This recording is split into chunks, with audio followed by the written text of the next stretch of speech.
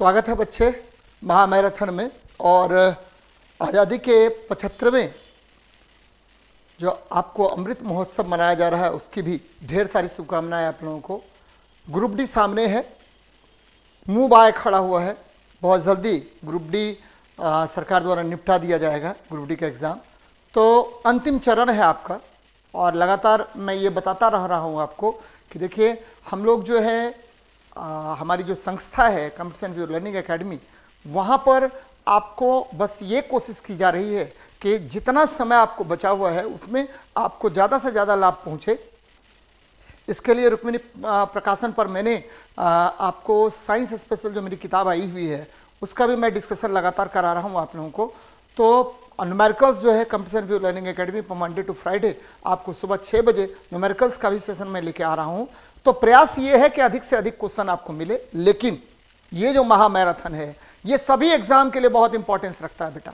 क्योंकि इसमें इतने अच्छे अच्छे प्रश्न हैं, अभी मैं आगे बढ़ूँगा तो आपको पता चलेगा ही चलेगा कि इतने अच्छे अच्छे प्रश्न हैं कि ये आपकी सफलता के लिए, आपको नई ऊंचाइयों पर पहुँचाने के लिए, सामने बीपीएससी के एग्ज़ाम को क्रैक करने के लिए और दरोगा जो आपका ड्रीम बहुत सारे बच्चों का ड्रीम है, जो मेरे से जुड़े हुए हैं, लगातार बोलते रहते हैं कि, सर, दरोगा का क्वेश्चन ज़्यादा से ज़्यादा बनना चाहिए मेरे से साइंस का। तो एकदम तैयार हो जाइए। ठीक है, कल भी मैं एक सेट का सॉल्यूशन कर रहा था दरोगा का तो मैंने देखा कि 36 क्वेश्चन बच्चे ओवरऑल साइंस के पूछे गए थे। ये मैं नहीं बोल रहा हूँ कि हर एग्ज़ाम में इतना ही पूछा जाएगा, लेकिन उस एग्ज़ाम में 36 क्वेश्चन थे। मेरा साइंस का क्राइटेरिया थोड़ा सा क्राइटेरिया जो है वो थोड़ा सा डिफरेंट है, क्योंकि मैं साइंस में, ठीक है, आपको इन्वायरमेंट इकोलॉजी को भी शामिल करता हूँ। मैं साइंस में साइंस एंड टेक्नोलॉजी तो है ही है, साथ में फिजिक्स केमिस्ट्री बायोलॉजी और क्या बोलते हैं, आपको एग्रीकल्चर सबको शामिल करता हूँ। थोड़ा सा मेरा दायरा बड़ा है, लेकिन, ठीक है, इतने क्वेश्चन तो पूछे जाएँगे बच्चे। लगभग आपको 20-22 क्वेश्चन आपके दरोगा पीटी में 30 क्वेश्चन फिक्स है आपके बीपीएससी में तो सोचिए कि कितना ज़्यादा परिमाण है। ठीक है लगभग आपको 20 परसेंट इसका ज़ोर है साइंस का।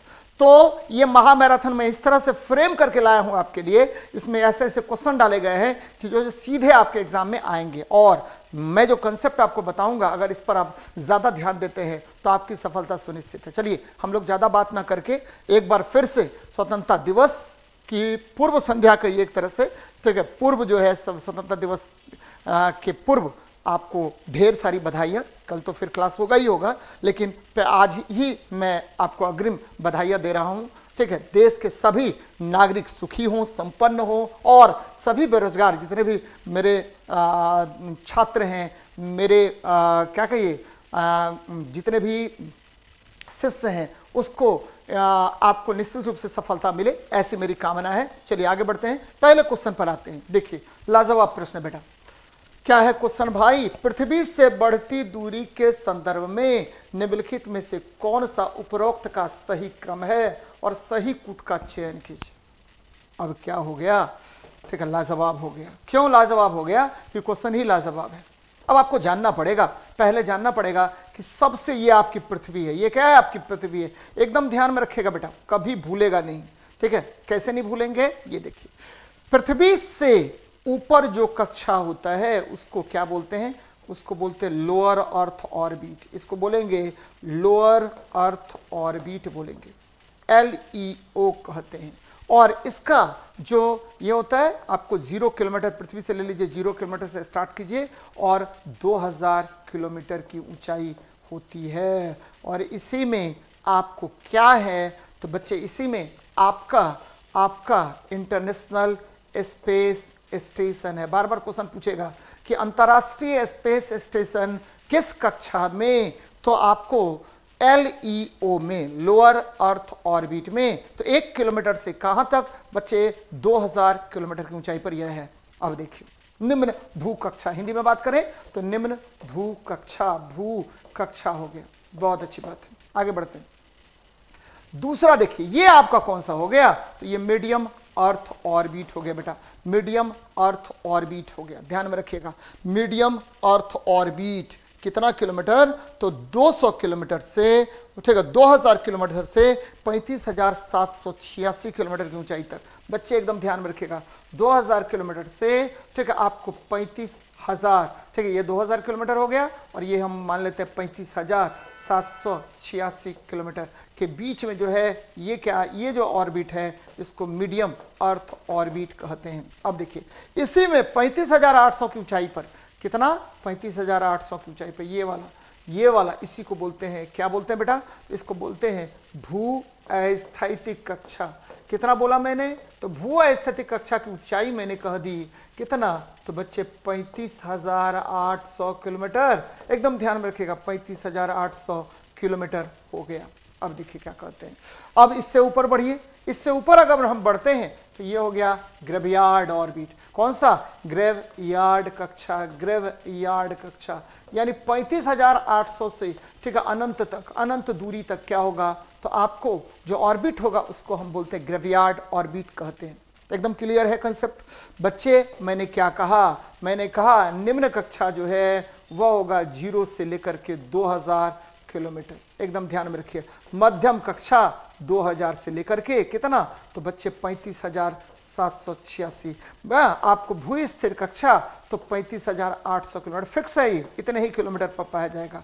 और पृथ्वी से देखने पर स्थिर दिखाई देगा इस कक्षा में। और आपको क्या होगा? 24 घंटा होगा इसका आवर्तकाल। और क्या होगा? तो बच्चे जनरली भू स्थिर कक्षा में केबल और केबल संचार उपग्रह होते हैं। ये ध्यान में रखिएगा। और गर्भयार्ड मैंने क्या कहा? कि पैंतीस हज़ार आठ सौ से ऊपर से अनंत दूरी ऊपर होता है बच्चे। ठीक है? इसको बोलते हैं, ग्रेवियार्ड कक्षा बोलते हैं। तो सबसे पहले कौन होगा? कह रहा है पृथ्वी से बढ़ती दूरी के क्रम।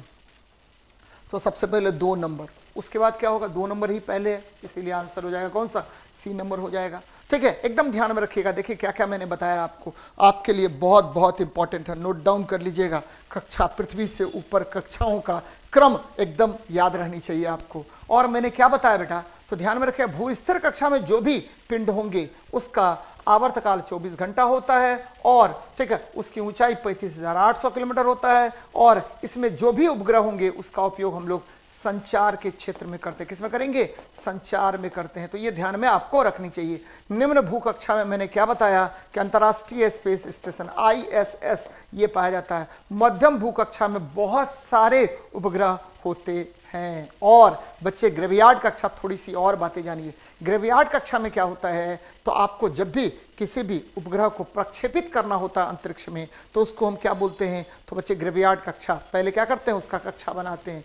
घूमते घूमते अचानक वो क्या होगा? ठीक है स्लस आउट हो जाएगा आउटर मोस्ट ऑर्बिट में। तो इसको बोलते हैं ग्रेवियार्ड कक्षा। तो ध्यान में रखिए, बहुत बहुत इंपॉर्टेंट है। आंसर हो गया सी नंबर चलिए देखते हैं नेक्स्ट क्वेश्चन को। एकदम याद रखना बच्चे। यहाँ देखिए। निम्नलिखित में से कौन सा आवारा ग्रह या निष्कासित ग्रह? अरे रे रे ये क्या हो गया? आवारा ग्रह या निष्कासित? रोज प्लानिट बच्चे, बहुत अच्छा क्वेश्चन है। कैसे? अच्छा क्वेश्चन है। तो ठीक है, वह वह ग्रह जिसका, वह ग्रह जिसका क्या होगा? ठीक है, जिसका निश्चित प्लानिटरी सिस्टम नहीं हो। बच्चे, एकदम पता है कि ऐसा ग्रह जिसका अपना सोलर सिस्टम नहीं है।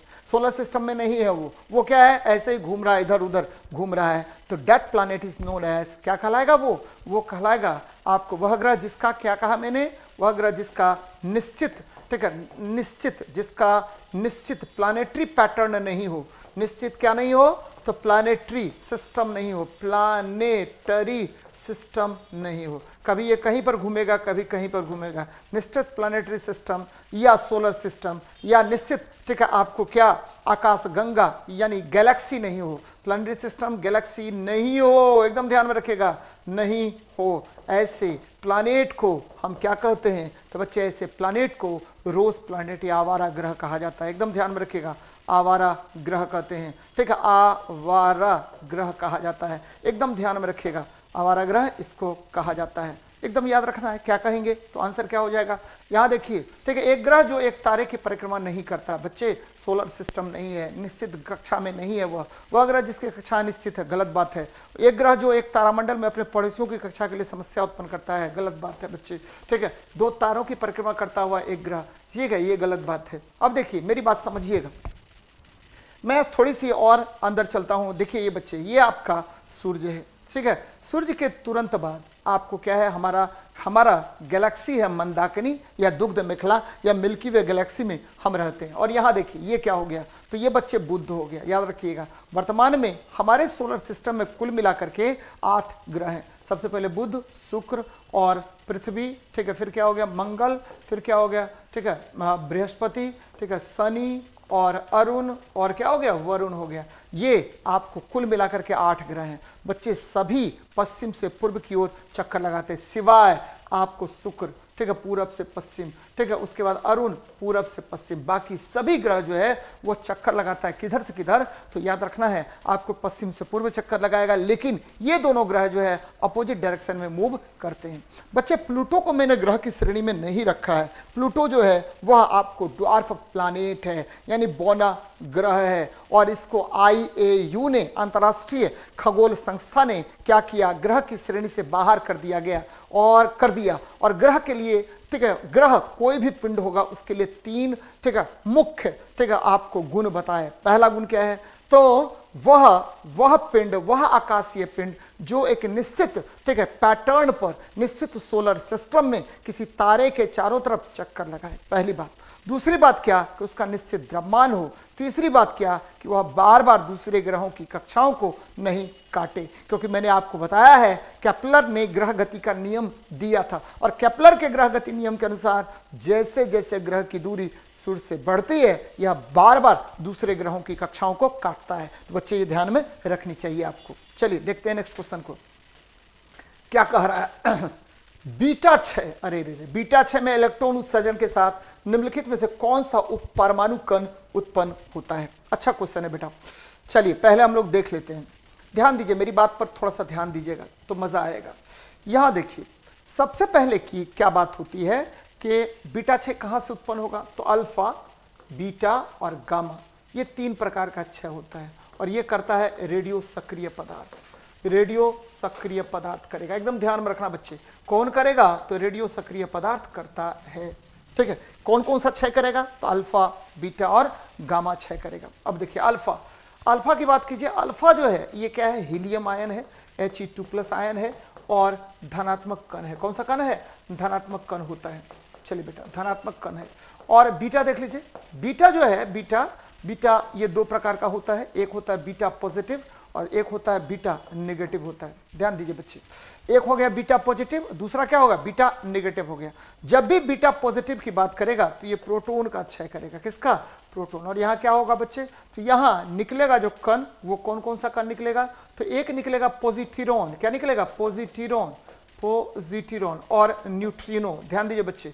पॉजिट्रिनॉन और न्यूट्रिनो कण ये बाहर निकलेगा। ठीक है बीटा पॉजिटिव में कौन कौन निकलेगा? पॉजिट्रोन और न्यूट्रिनो निकलेगा। बीटा निगेटिव में क्या होगा? तो यहाँ आपको पता है बीटा निगेटिव में क्या होता है? इलेक्ट्रॉन्स होता है इलेक्ट्रॉन्स होता है। और यहाँ पर क्या होगा? तो आपको यहाँ हो जाएगा आपका एंटी न्यूट्रॉन एंटी न्यूट्रिनो याद रखिए बच्चे एंटी न्यूट्रिनो कण बाहर निकलता है। कौन कण बाहर निकलेगा? तो एंटी न्यूट्रॉन और एंटी प्रोटोन याद रखना बच्चे एंटी न्यूट्रॉन और एंटी प्रोटोन कण यहाँ पर बाहर निकलेगा। एकदम ध्यान में रखेगा एंटी ठीक है प्रोटोन और एंटी न्यूट्रिनो एंटी न्यूट्रिनो कण ये बाहर निकलता है। तो बीटा के छह में अगर पॉजिटिव है तो पॉजिट्रॉन और न्यूट्रिनो और आपको बीटा निगेटिव है इलेक्ट्रॉन है तो एंटी प्रोटोन और एंटी न्यूट्रिनो निकलता है। अब देखिए क्वेश्चन क्या कह रहा है। बीटा छह में इलेक्ट्रॉन यहाँ देखिए कह दिया है बीटा छह में क्या? इलेक्ट्रॉन जब बाहर निकलेगा तो क्या होगा? पॉजिटिव तो है नहीं इलेक्ट्रॉन निकला तो ये निगेटिव हो गया। क्या हो गया? निगेटिव हो गया। तो निगेटिव के साथ क्या निकलेगा? एंटी न्यूट्रिनो बाहर निकलेगा बच्चे। अब यहाँ गामा देख लेते हैं। गामा क्या है? तो गामा जो है, आपको इलेक्ट्रोमैग्नेटिक वेव है। गामा इलेक्ट्रोमैग्नेटिक वेव है। ध्यान में रखिएगा। विद्युत चुंबकीय तरंग है। अब देखिए बेटा न्यूट्रिनो क्या होता है? न्यूट्रिनो ठीक है? जिसमें जिसमें केवल क्या हो? जिसमें आपको, ठीक है, स्पिन हो, स्पिन स्पिन हो, ठीक है, और ये मासलेस हो, चार्जलेस हो, मासलेस, और क्या होगा? चार्जलेस होगा। ऐसे कण को हम क्या कहते हैं? चार्जलेस होगा। ऐसे कण को हम क्या कहेंगे? न्यूट्रिनो कहते हैं। पॉली ने इसकी खोज की थी। प्रोटोन, आपको पता है कि यह नाभिक में पाया जाता है। न्यूट्रॉन और प्रोटॉन, और न्यूक्लियोन में एक मुख्य भूमिका निभाता है, और इलेक्ट्रॉन बाहर चक्कर लगाता रहता है। ध्यान में रखना बेटा।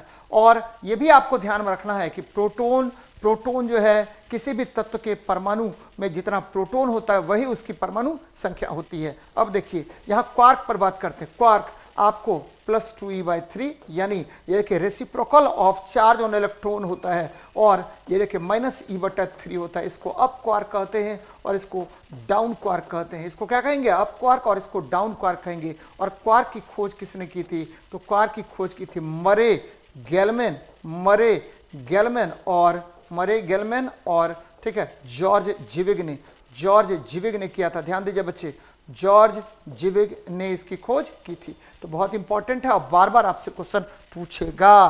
तो बीटा छ में इलेक्ट्रॉन उत्सर्जन के साथ निम्नलिखित में से कौन सा उपकर उप परमाणु कण साथ उत्पन्न होती है? तो ये उत्पन्न होगा एंटी न्यूट्रॉन क्वार्क भी मैंने बता दिया कि यही एक ऐसा कण है जिस पर आवेश जो है रेसिप्रोकल में होगा, व्युतक्रम में होगा। Plus two E by three और माइनस ई बाय थ्री होगा।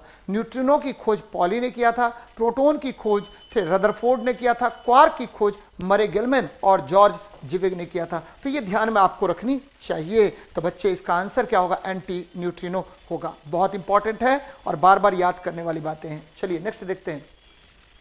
उत्प्रेरण, यानी इंडक्शन की इकाई क्या होती है? तो स्वप्रेरण गुणांक हो गया बेटा, और इसका इकाई हो गया हैनरी। क्या होगा? हैनरी हो जाएगा, जबकि फराड आपको पता है, विद्युत धारिता का मात्रक है। विद्युत धारिता का मात्रक क्या होगा? फराड हो गया। कैसे? तो बराबर क्या होता है? तो Q बाय वी होता है। और यहाँ क्या होगा? तो coulomb per volt coulomb per volt हो जाएगा। कुलम्ब पर वोल्ट होगा। याद रखिए इसको। और ओम क्या है? प्रतिरोध का मात्रक है। प्रतिरोध आर बराबर क्या होता है?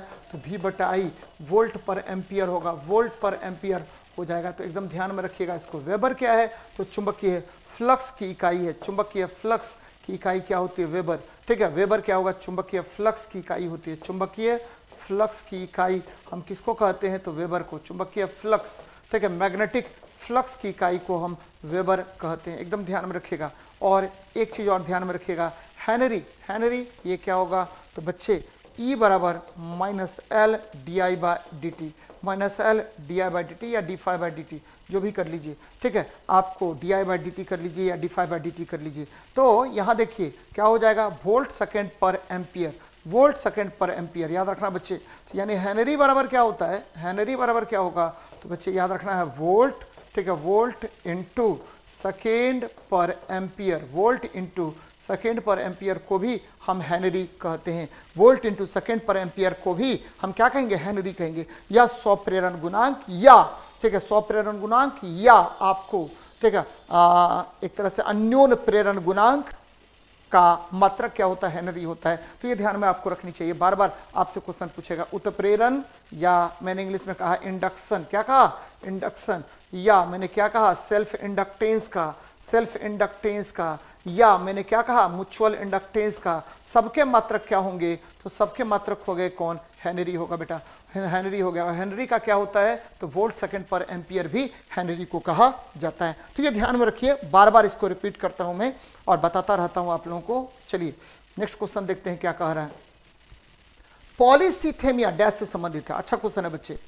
यहाँ देखिए, मैं आपको एकदम याद रखना है। तीन चार बातें। पहली बात, क्या आरबीसी की संख्या, ठीक है? हाँ बढ़ गई तो पॉलीसीथेमिया होगा ये भी एक बीमारी है बच्चे। पॉलीसीथेमिया हो गया। एकदम ध्यान में रखिएगा।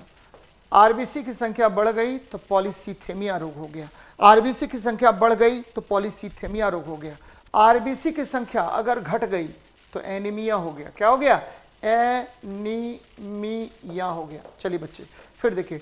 डब्ल्यूबीसी की संख्या बढ़ गई तो क्या होगा? ये हो गया ल्यूकेमिया ब्लड कैंसर बोलते हैं। ल्यूकेमिया ठीक है ब्लड कैंसर बोलते हैं। बेटा, क्या बोलेंगे? ब्लड कैंसर रक्त कैंसर रक्त कैंसर कहा जाता है इसको। चलिए, अच्छी बात। और डब्ल्यूबीसी की संख्या अगर घट गई, इसको बोलते हैं क्या? लाइकोपेनिया क्या बोलते हैं? लाइकोपेनिया कहा जाता है। लाइकोपेनिया कहा जाता है। एकदम ध्यान में रखिएगा। अब देखिए अब देखिए बेटा, ठीक है, यहाँ आपको दिया हुआ विटामिन के विटामिन के के के का मात्रा कम हो गया। तो आपको रक्त का थक्का नहीं जमेगा। रक्त का थक्का नहीं जमेगा। एकदम याद रखेगा, थक्का नहीं जमता है। बहुत इंपॉर्टेंट है। और ठीक है विटामिन के को हम क्या कहते हैं? विटामिन के को फाइलोक्यूनोन कहते हैं। विटामिन के को क्या कहते हैं? तो विटामिन के को फाइलोक्यूनोन कहा जाता है। फाइलोक्यूनोन कहते हैं। अब देखिए विटामिन ई विटामिन ई जो है इसको टोकोफेरॉल कहा जाता है। टोकोफेरॉल कहते हैं फेरॉल कहते हैं ये याद रखना बच्चे। और इसकी कमी से क्या होता है? नपुंसकता हो जाएगा। ठीक है नपुंसकता हो जाता है बच्चे। और यहाँ देखिए सफ़ेद रक्त कोशिकाएँ नहीं बच्चे लाल रक्त कोशिकाओं ये आंसर हो जाएगा। विटामिन ई e, मैंने बताया विटामिन के बताया याद रखना है। ए डी ई और के ए डी ई के ए डी ई के किसमें घुलनशील? तो वसा में। वसा में घुलनशील होगा, वसा में घुलनशील होगा, वसा में घुलनशील होगा, एकदम याद रखिएगा, वसा में घुलनशील होगा। और आपको, ठीक है बी और सी जल में बी सी जल में बी सी जल में, एकदम याद रखिए ए डी ई के वशा में ए डी ई के वशा में घुलनशील होगा। तो फिर से मैं रिपीट कर देता हूँ आरबीसी की संख्या अगर बढ़ जाएगी तो पॉलिसीथेमिया आरबीसी की संख्या अगर क्या होगी घट जाएगी तो एनीमिया डब्ल्यूबीसी की संख्या बढ़ जाएगी तो ल्यूकेमिया डब्ल्यूबीसी की संख्या घट जाएगी तो लाइकोपेनिया विटामिन के की मात्रा अगर कम हो जाती है तो रक्त का थक्का नहीं जमेगा। विटामिन के को फिर फाइलोकिनोन कहते हैं विटामिन ई e को टोकोफेरॉल कहते हैं ए डी ई के वशा में घुलनशील बी सी जल में घुलनशील होगा। देखिए कितना अच्छा है तो याद रखना चाहिए इसको। चलिए नेक्स्ट देखते हैं क्वेश्चन क्या कह रहा है। निम्नलिखित में से कौन सा रोग यर्सीनिया पेस्टिस के कारण होता है आसान क्वेश्चन है बच्चे आपको पता है कि पिस्सू पिस्सू इसका वाहक होता है पिस्सू इसका वाहक होगा और ये प्लेग रोग है पोस्टोडला पेस्टिस या यर्सिनिया पेस्टिस ये किसकी वजह से होगा तो आपको प्लेग हो गया रोग अब देखिए एंथ्रैक्स क्या होगा एंथ्रैक्स आपको पता है बेसिलस एंथ्रेसिस बेसिलस एंथ्रेसिस रोग होता है ठीक है एंथ्रेसिस जीवाणु जनित रोग है एंथ्रेसिस होता है ठीक है, ये पशु में भी होता है और मनुष्य में भी होता है बच्चे। बेसिलस एंथ्रेसिस और आपको पता होनी चाहिए, जीवाणु जनित रोग है। जीवाणु के कारण होता है और ये जीवाणु कौन है? तो बेसिलस एंथ्रेसिस हो गया। मलेरिया ये आपको पता है प्रोटोजोन रोग है और यह, ठीक है, आपको प्रोटोजोन रोग है, ठंड लगकर बुखार होगा और ये प्लाज्मोडियम के कारण होता है और मादा एनोफिलिज मच्छर के काटने से, मादा एनोफिलिज मच्छर फेलिस मच्छर के काटने से यह रोग होता है। और आपको पता होनी चाहिए कि ये जो है, ये जो है आपका ठंड लगकर इसमें बुखार होता है और जनरली यह जो है आपको रक्त का रक्त का जो तिल्ली होता है, तिल्ली को प्रभावित करने का काम करता है, यानी रक्त को प्रभावित करता है। डेंगू, बच्चे, डेंगू जो है, यह भी विषाणु जनित रोग है। ध्यान में रखिएगा विषाणु जनित रोग होता है डेंगू। विषाणु जनित रोग होगा। और डेंगू में क्या होता है कि आपके शरीर में जो प्लेटलेट्स की संख्या वो तीव्र गति से क्या होगा? घट जाता है। और फ्लेवी वायरस से याद रखिए बच्चे, कौन सा वायरस से होता है डेंगू? तो फ्लेवी वायरस से होता है। और यह फ्लेवी वायरस से होगा। और यह किस किस मच्छर के काटने से होता है? तो एडिस एडेप्टिस एडिस एडेप्टिस याद रखना, दिन में यह सक्रिय होता है। एडिस एडेप्टी एडिस एडिप्टी एडिप्टी मच्छर के काटने से यह रोग उत्पन्न होता है। एकदम ध्यान में रखिएगा। कब होगा उत्पन्न? तो एडिस एडेप्टिस मच्छर जब काटेगा, दिन के समय में काटा जाता है और आपके शरीर में यह फैलेगा फ्लेबी वायरस ये फैलता है और ये तीव्र गति से आपके शरीर के प्लेटलेट्स की संख्या को कम कर देता है और आपको एक रोग हो जाता है जिसको डेंगू कहा जाता है। तो एकदम क्लियर है, कौन सा रोग या पेस्टिस के कारण होगा? प्लेग होगा। पिस्सू पिस्सू इसका वाहक होता है, यानी चूहा इसका वाहक होता है और ये आपको एक तरह से जीवाणु जनित रोग होता है। ठीक है? मलेरिया या प्लाज्मोडियम या प्रोटोजोन डिज़ीज़ है और मादा एनोफिलिस मच्छर के काटने से होता है, जो शरीर के बोन मेरो को या तिल्ली को प्रभावित करने का काम करता है, रक्त को प्रभावित करेगा। ठीक है डेंगू, मलेरिया मलेरिया, डेंगू जो है वो विषाणु जनित रोग है। प्लेबी वायरस के कारण होता है या एडिज एडेप्टिज, मच्छर के काटने से होता है बच्चे। तो ये ध्यान में रखनी चाहिए। देखिएगा, तीव्र गति से अगर आपके शरीर में लगे कि प्लेटलेट्स की संख्या घट रही है, पटना में भी प्रकोप चला हुआ बच्चे। प्रायः प्रायः दो चार घरों में आपको मिल जाए। दो चार घर छोड़ करके एक घर में आपको अभी डेंगू के पेशेंट मिल जाएँगे। जनरली इसमें प्रिकॉशन की आवश्यकता है। जनरली इसमें क्या है कि आपको मच्छरों से दिन दिन के समय मच्छरों से बच के रहना चाहिए। ठीक है, तभी जाकर के इसका क्या होता है? रोकथाम किया जा सकता है। बहुत डेंजरस रोग होता है। शरीर को पूरा कमज़ोर कर देता है। चलिए, ये देखिए, ये क्या क्वेश्चन है? पहली बार मानव कोरोना वायरस का पता कब चला था? मानव कोरोना वायरस। अच्छा है बच्चे, सबसे पहले तो ये देखते हैं कि मानव कोरोना वायरस है क्या? ठीक है, मानव कोरोना वायरस क्या होता है? तो कोरोना वायरस, सब बच्चे तबाह हैं इसी से। ठीक है, बच्चे, आपको पता होगा कि पूरा जो है एजुकेशन सिस्टम को इसने प्रभावित किया है और कमोवेश कमोवेश बच्चों के मानसिक क्षमता को भी इसने प्रभावित किया है। कौन? कोरोना। और ये कोरोना है क्या? तो बच्चे, सार्स है। सार्स को भी टू वायरस की वजह से यह हुआ है। SARS S A R S SARS क्या हुआ? Severe acute respiratory syndrome CoV two virus से, या इसको कोविड कोविड 19 भी कहा गया बच्चे। कोविड 19 वायरस से यह तीव्र गति से फैला था, लेकिन इसके बारे में पहली बार पता चल चल गया था आपको उन्नीस सौ में ही। वर्तमान में, वर्तमान सदी की बात अगर करें तो वर्तमान में यह सबसे भयानक आपको, ठीक है उभर करके सामने आया था। लॉकडाउन भी लगाना पड़ा, पूरे भारत में, पूरे विश्व में लॉकडाउन लगाना पड़ा था। याद होगा आप लोगों को, और अच्छे तरीके से जानकारी होगी आपकी। वुहान, चाइना में एक वुहान जगह है, वहाँ से ये प्रारंभ हुआ था, इस सदी में। और ठीक है, कहा जाता है, कोई बता रहे हैं कि चमगादड़ से हुआ, कोई बता रहे हैं कुछ और खाने से हुआ, कोई कुछ कोई कुछ कोई कुछ। लेकिन वुहान, इसका मेन जो सेंटर था वो चाइना में वुहान था। कहाँ था? वुहान से यह प्रारंभ हुआ था। तो ये ध्यान में रखनी चाहिए। और ये सीधे आपको याद रखना है, छीक से। ठीक है आपको छींक से एक, दूसरी बात क्या? कि आपका जो मुँह से जो ड्रॉपलेट्स निकलते हैं, चाहे वो खांसी हो, बलगम हो, इससे जो निकलेगा आपको ड्रॉपलेट्स, उसी ड्रॉपलेट से यह फैल फैल, फैलता है। जनरली इसमें छः फीट की दूरी बन मतलब बनाकर रखने की सलाह दी जाती है। अगर किसी प्रकार से आपको कोई प्रॉब्लम हो गया तो मास्क ठीक है अभी वर्तमान सदी की सबसे बड़ी ज़रूरत बन गई है बच्चे। तो मास्क लगा के रखिए, ठीक है, आपको प्रिकॉशन लेकर के रखिए तो इससे बचा जा सकता है। लेकिन पहली बार पता चल गया था उन्नीस सौ में ही, पहली बार। चलिए, आगे बढ़ते हैं। पौधे के किस घटक को पुष्पन के लिए उद्दीपन प्राप्त होता है? तो पौधे के किस घटक को बच्चे? तो याद रखिए, पत्तियों को। पत्तियों को पुष्पन के लिए क्या होगा? उद्दीपन प्राप्त होता है। बच्चे, आपको पता होगा कि पौधा जो है, पौधा पौधा जो है आपको आ, जैसे मान लीजिए सनफ्लावर ले लेते हैं। सनफ्लावर ले लीजिए। ये देखिएगा सुबह के समय इसका जो फूल होता है फूल जो है सूर्य के प्रकाश की तरफ़ मुड़ जाता है। ये किस हार्मोन का प्रभाव होता है? तो पौधा का प्रकाशानुवर्ती गति ध्यान दीजिए बच्चे पौधे का प्रकाशानुवर्ती गति यानी फोटोट्रॉपिक मूवमेंट प्रकाशानुवर्ती गति ठीक है ये हो गया या गुरुत्वानुवर्ती गति। पौधे का गुरुत्वानुवर्ती गति गुरुत्वानुवर्ती गति गुरुत्वानुवर्ती गति। ठीक है, ध्यान दीजिए बच्चे, गुरुत्वानुवर्ती गति क्या होगा? किधर के तरफ़ होगा? तो यह होगा आपको सूर्य के प्रकाश के कारण, सूर्य के प्रकाश की वजह से यह मूवमेंट आपको किसके तरफ़ कर लेगा? तो प्रकाश की तरफ़ मूवमेंट कर लेगा। और इसके लिए आपको क्या होगा? ठीक है, ये ये गति किसके कारण होगा? ऑक्सीजन के कारण होता है। किसके कारण? ऑक्सीजन हार्मोन के कारण यह विशेष रूप से, ठीक है, प्रभावित होता है।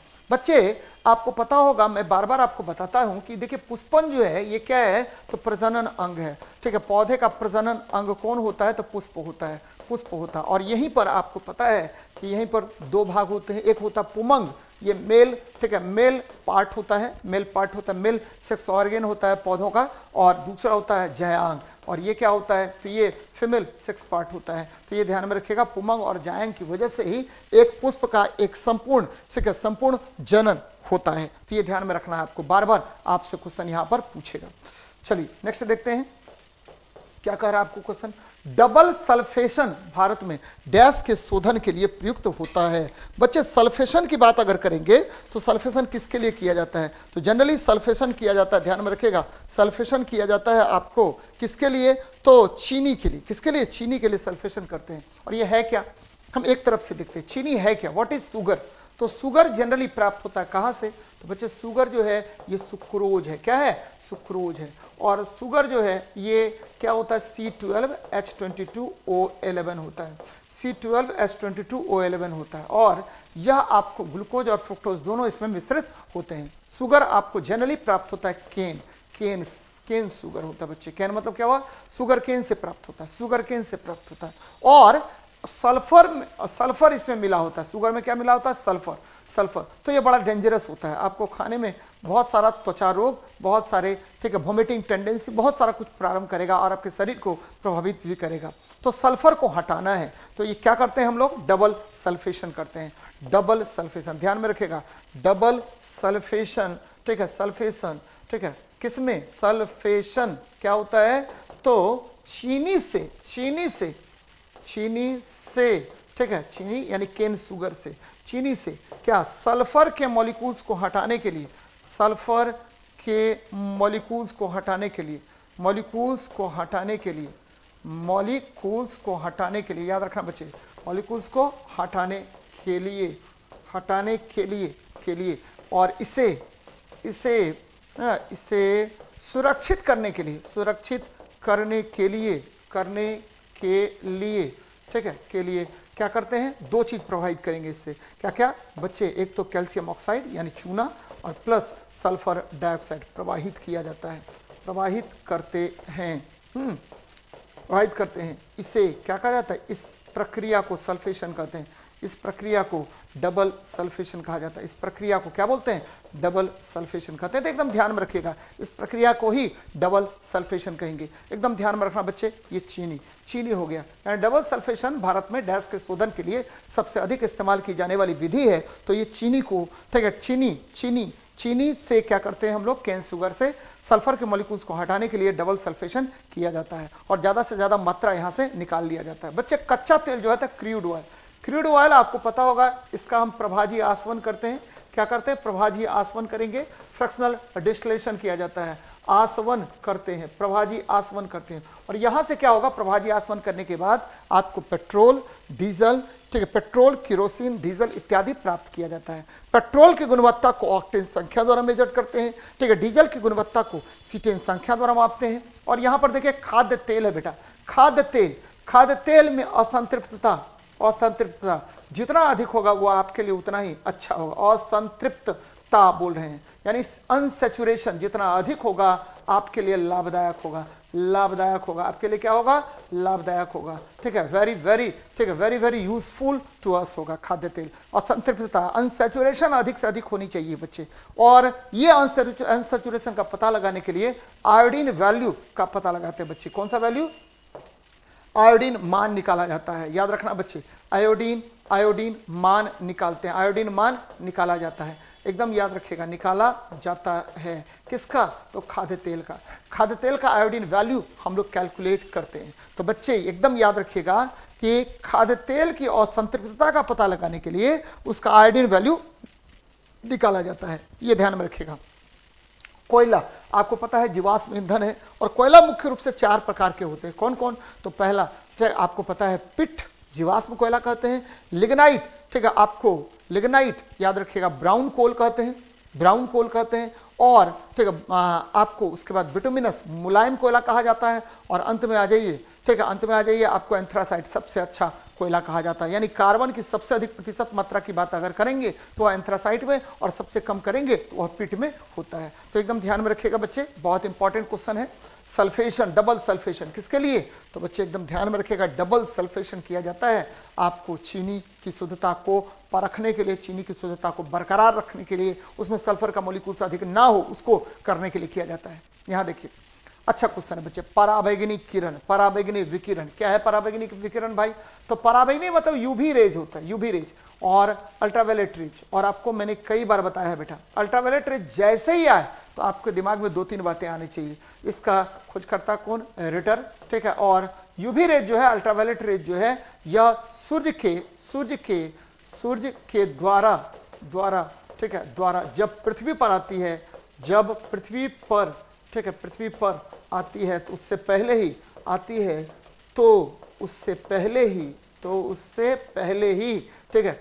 ओजोन परत इसे अवशोषित कर लेती है। पहले ही ओजोन परत, पहले ही ओजोन परत ओजोन परत। कहाँ पाया जाता है बच्चे? स्टेटोस्फेयर में।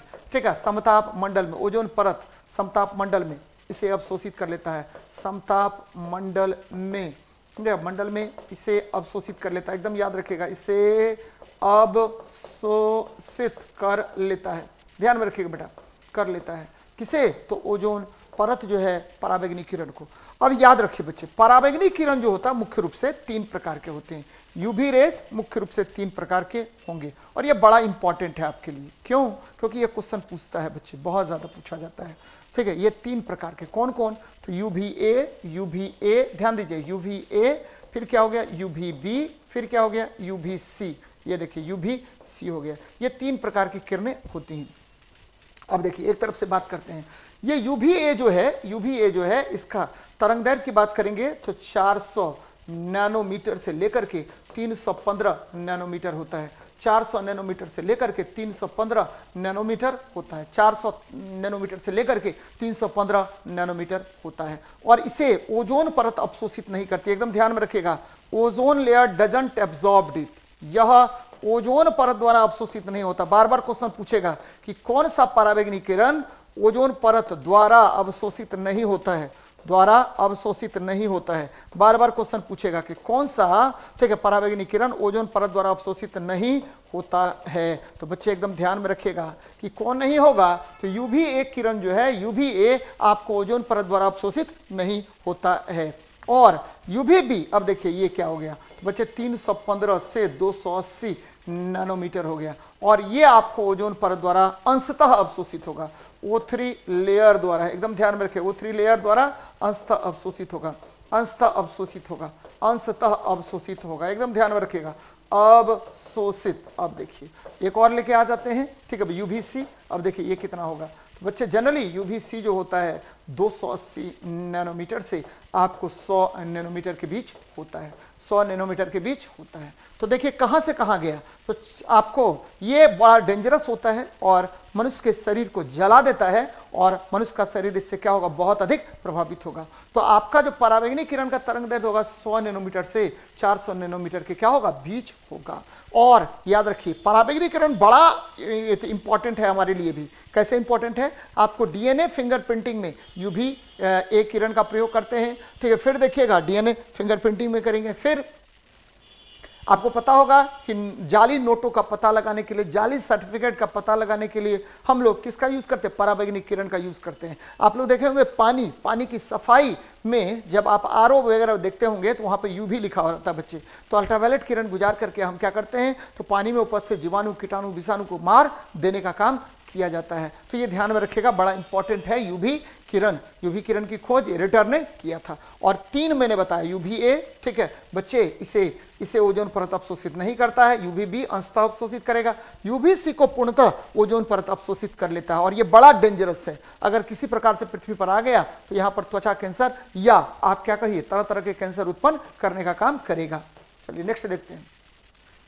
निम्नलिखित में से कौन सा गुणधर्म आवर्त सारणी में बाएँ से दाएँ घटता है और और वर्ग में ऊपर से नीचे क्या होगा? बढ़ता है। अच्छी बात है बच्चे। हम सब पर बात कर लेते हैं। सबसे पहला आयनीकरण ऊर्जा।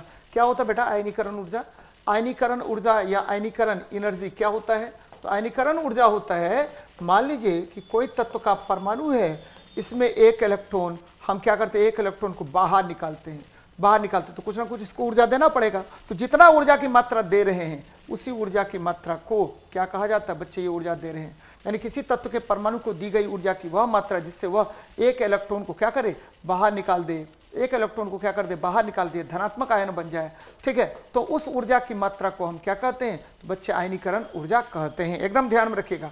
और आयनीकरण ऊर्जा आयनीकरण ऊर्जा सबसे अधिक किसके लिए? तो आयनीकरण ऊर्जा सबसे अधिक हीलियम के लिए होगा। और सबसे कम किसके लिए होगा? तो आपको फ्रांसीसियम के लिए होगा। फ्रांसीसियम के लिए होगा। सर्वाधिक सर्वाधिक और सबसे कम फ्रांसीसियम याद रखिए, ऐसे भी क्षार धातुओं का सबसे कम होता है और अक्रिय गैस का सबसे अधिक आयनीकरण ऊर्जा होता है। आयनीकरण क्या होता है? आयनीकरण ऊर्जा होता क्या है? यानी किसी तत्व के परमाणु को दी गई ऊर्जा की वह मात्रा जिससे वह एक इलेक्ट्रॉन को बाहर निकाल दे। अब देखिए, दूसरी बात कह रहे हैं क्या? दूसरी बात क्या है? इलेक्ट्रॉन बंधुता। तो इलेक्ट्रॉन बंधुता, इसका जस्ट अपोजिट होता है बच्चे। क्या हो रहा है?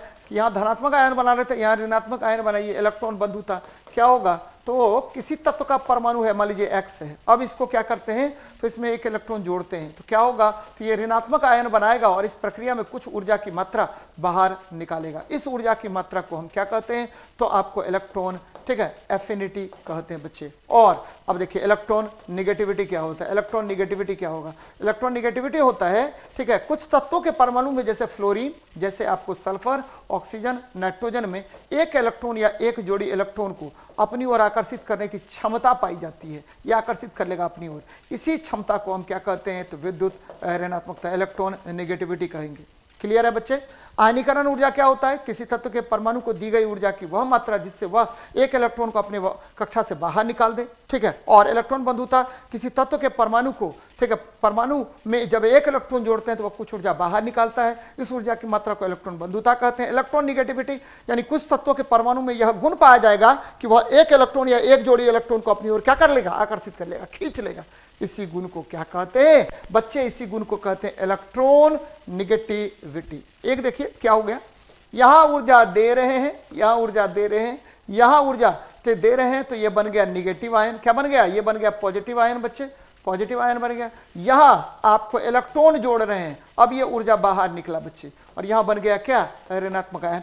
इलेक्ट्रॉन निगेटिविटी मैंने क्या बताया? कि इलेक्ट्रॉन को अपनी ओर खींचने की क्षमता को ही इलेक्ट्रॉन निगेटिविटी कहेंगे। एक जोड़ी, एक एक या एक जोड़ी इलेक्ट्रॉन। और परमाणुविक त्रिज्या। बच्चे परमाणुविक त्रिज्या जो होती है, वो क्या होता है? परमाणु का, ठीक है, परमाणु का, कक्षा की त्रिज्या को परमाणु त्रिज्या कहेंगे। तो कोई दिक्कत नहीं है, जरा इस पर देख लीजिए। अब क्या करते हैं? सबसे पहले आई पी आई ई या आई पी ठीक है? उसके बाद क्या होगा? आई पी या आई ई उसके बाद क्या होगा? इलेक्ट्रॉन एफिनिटी उसके बाद क्या होगा? इलेक्ट्रॉन नेगेटिविटी फिर क्या होगा? एटॉमिक रेडियस ये देखिए बच्चे। और ये क्या हो गया? आपको आ, आपको हो गया आवर्त। क्या हो गया? आवर्त। और ये क्या हो गया? वर्ग हो गया। वर्ग हो गया। अब देख लीजिए।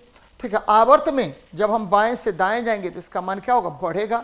ठीक है हाँ वर्ग में ऊपर से नीचे घटेगा। इलेक्ट्रॉन एफिनिटी का मान आवर्त में बाएँ से दाएँ बढ़ेगा, वर्ग में घटेगा। इलेक्ट्रॉनिविटी बढ़ेगा हाँ ये भी वर्ग में घटेगा, ऊपर से नीचे जाएँगे। परमाणु त्रिज्या का मान घटेगा, आवर्त में बाएँ से दाएँ जाने पर। और लेकिन वर्ग में क्या होगा? आपको बढ़ेगा। तो देखिए क्या कह रहा है, निम्नलिखित में से कौन सा गुणधर्म आवर्त सारणी में बाएँ से दाएँ घटता है? तो ये परमाणु त्रिज्या हो गया।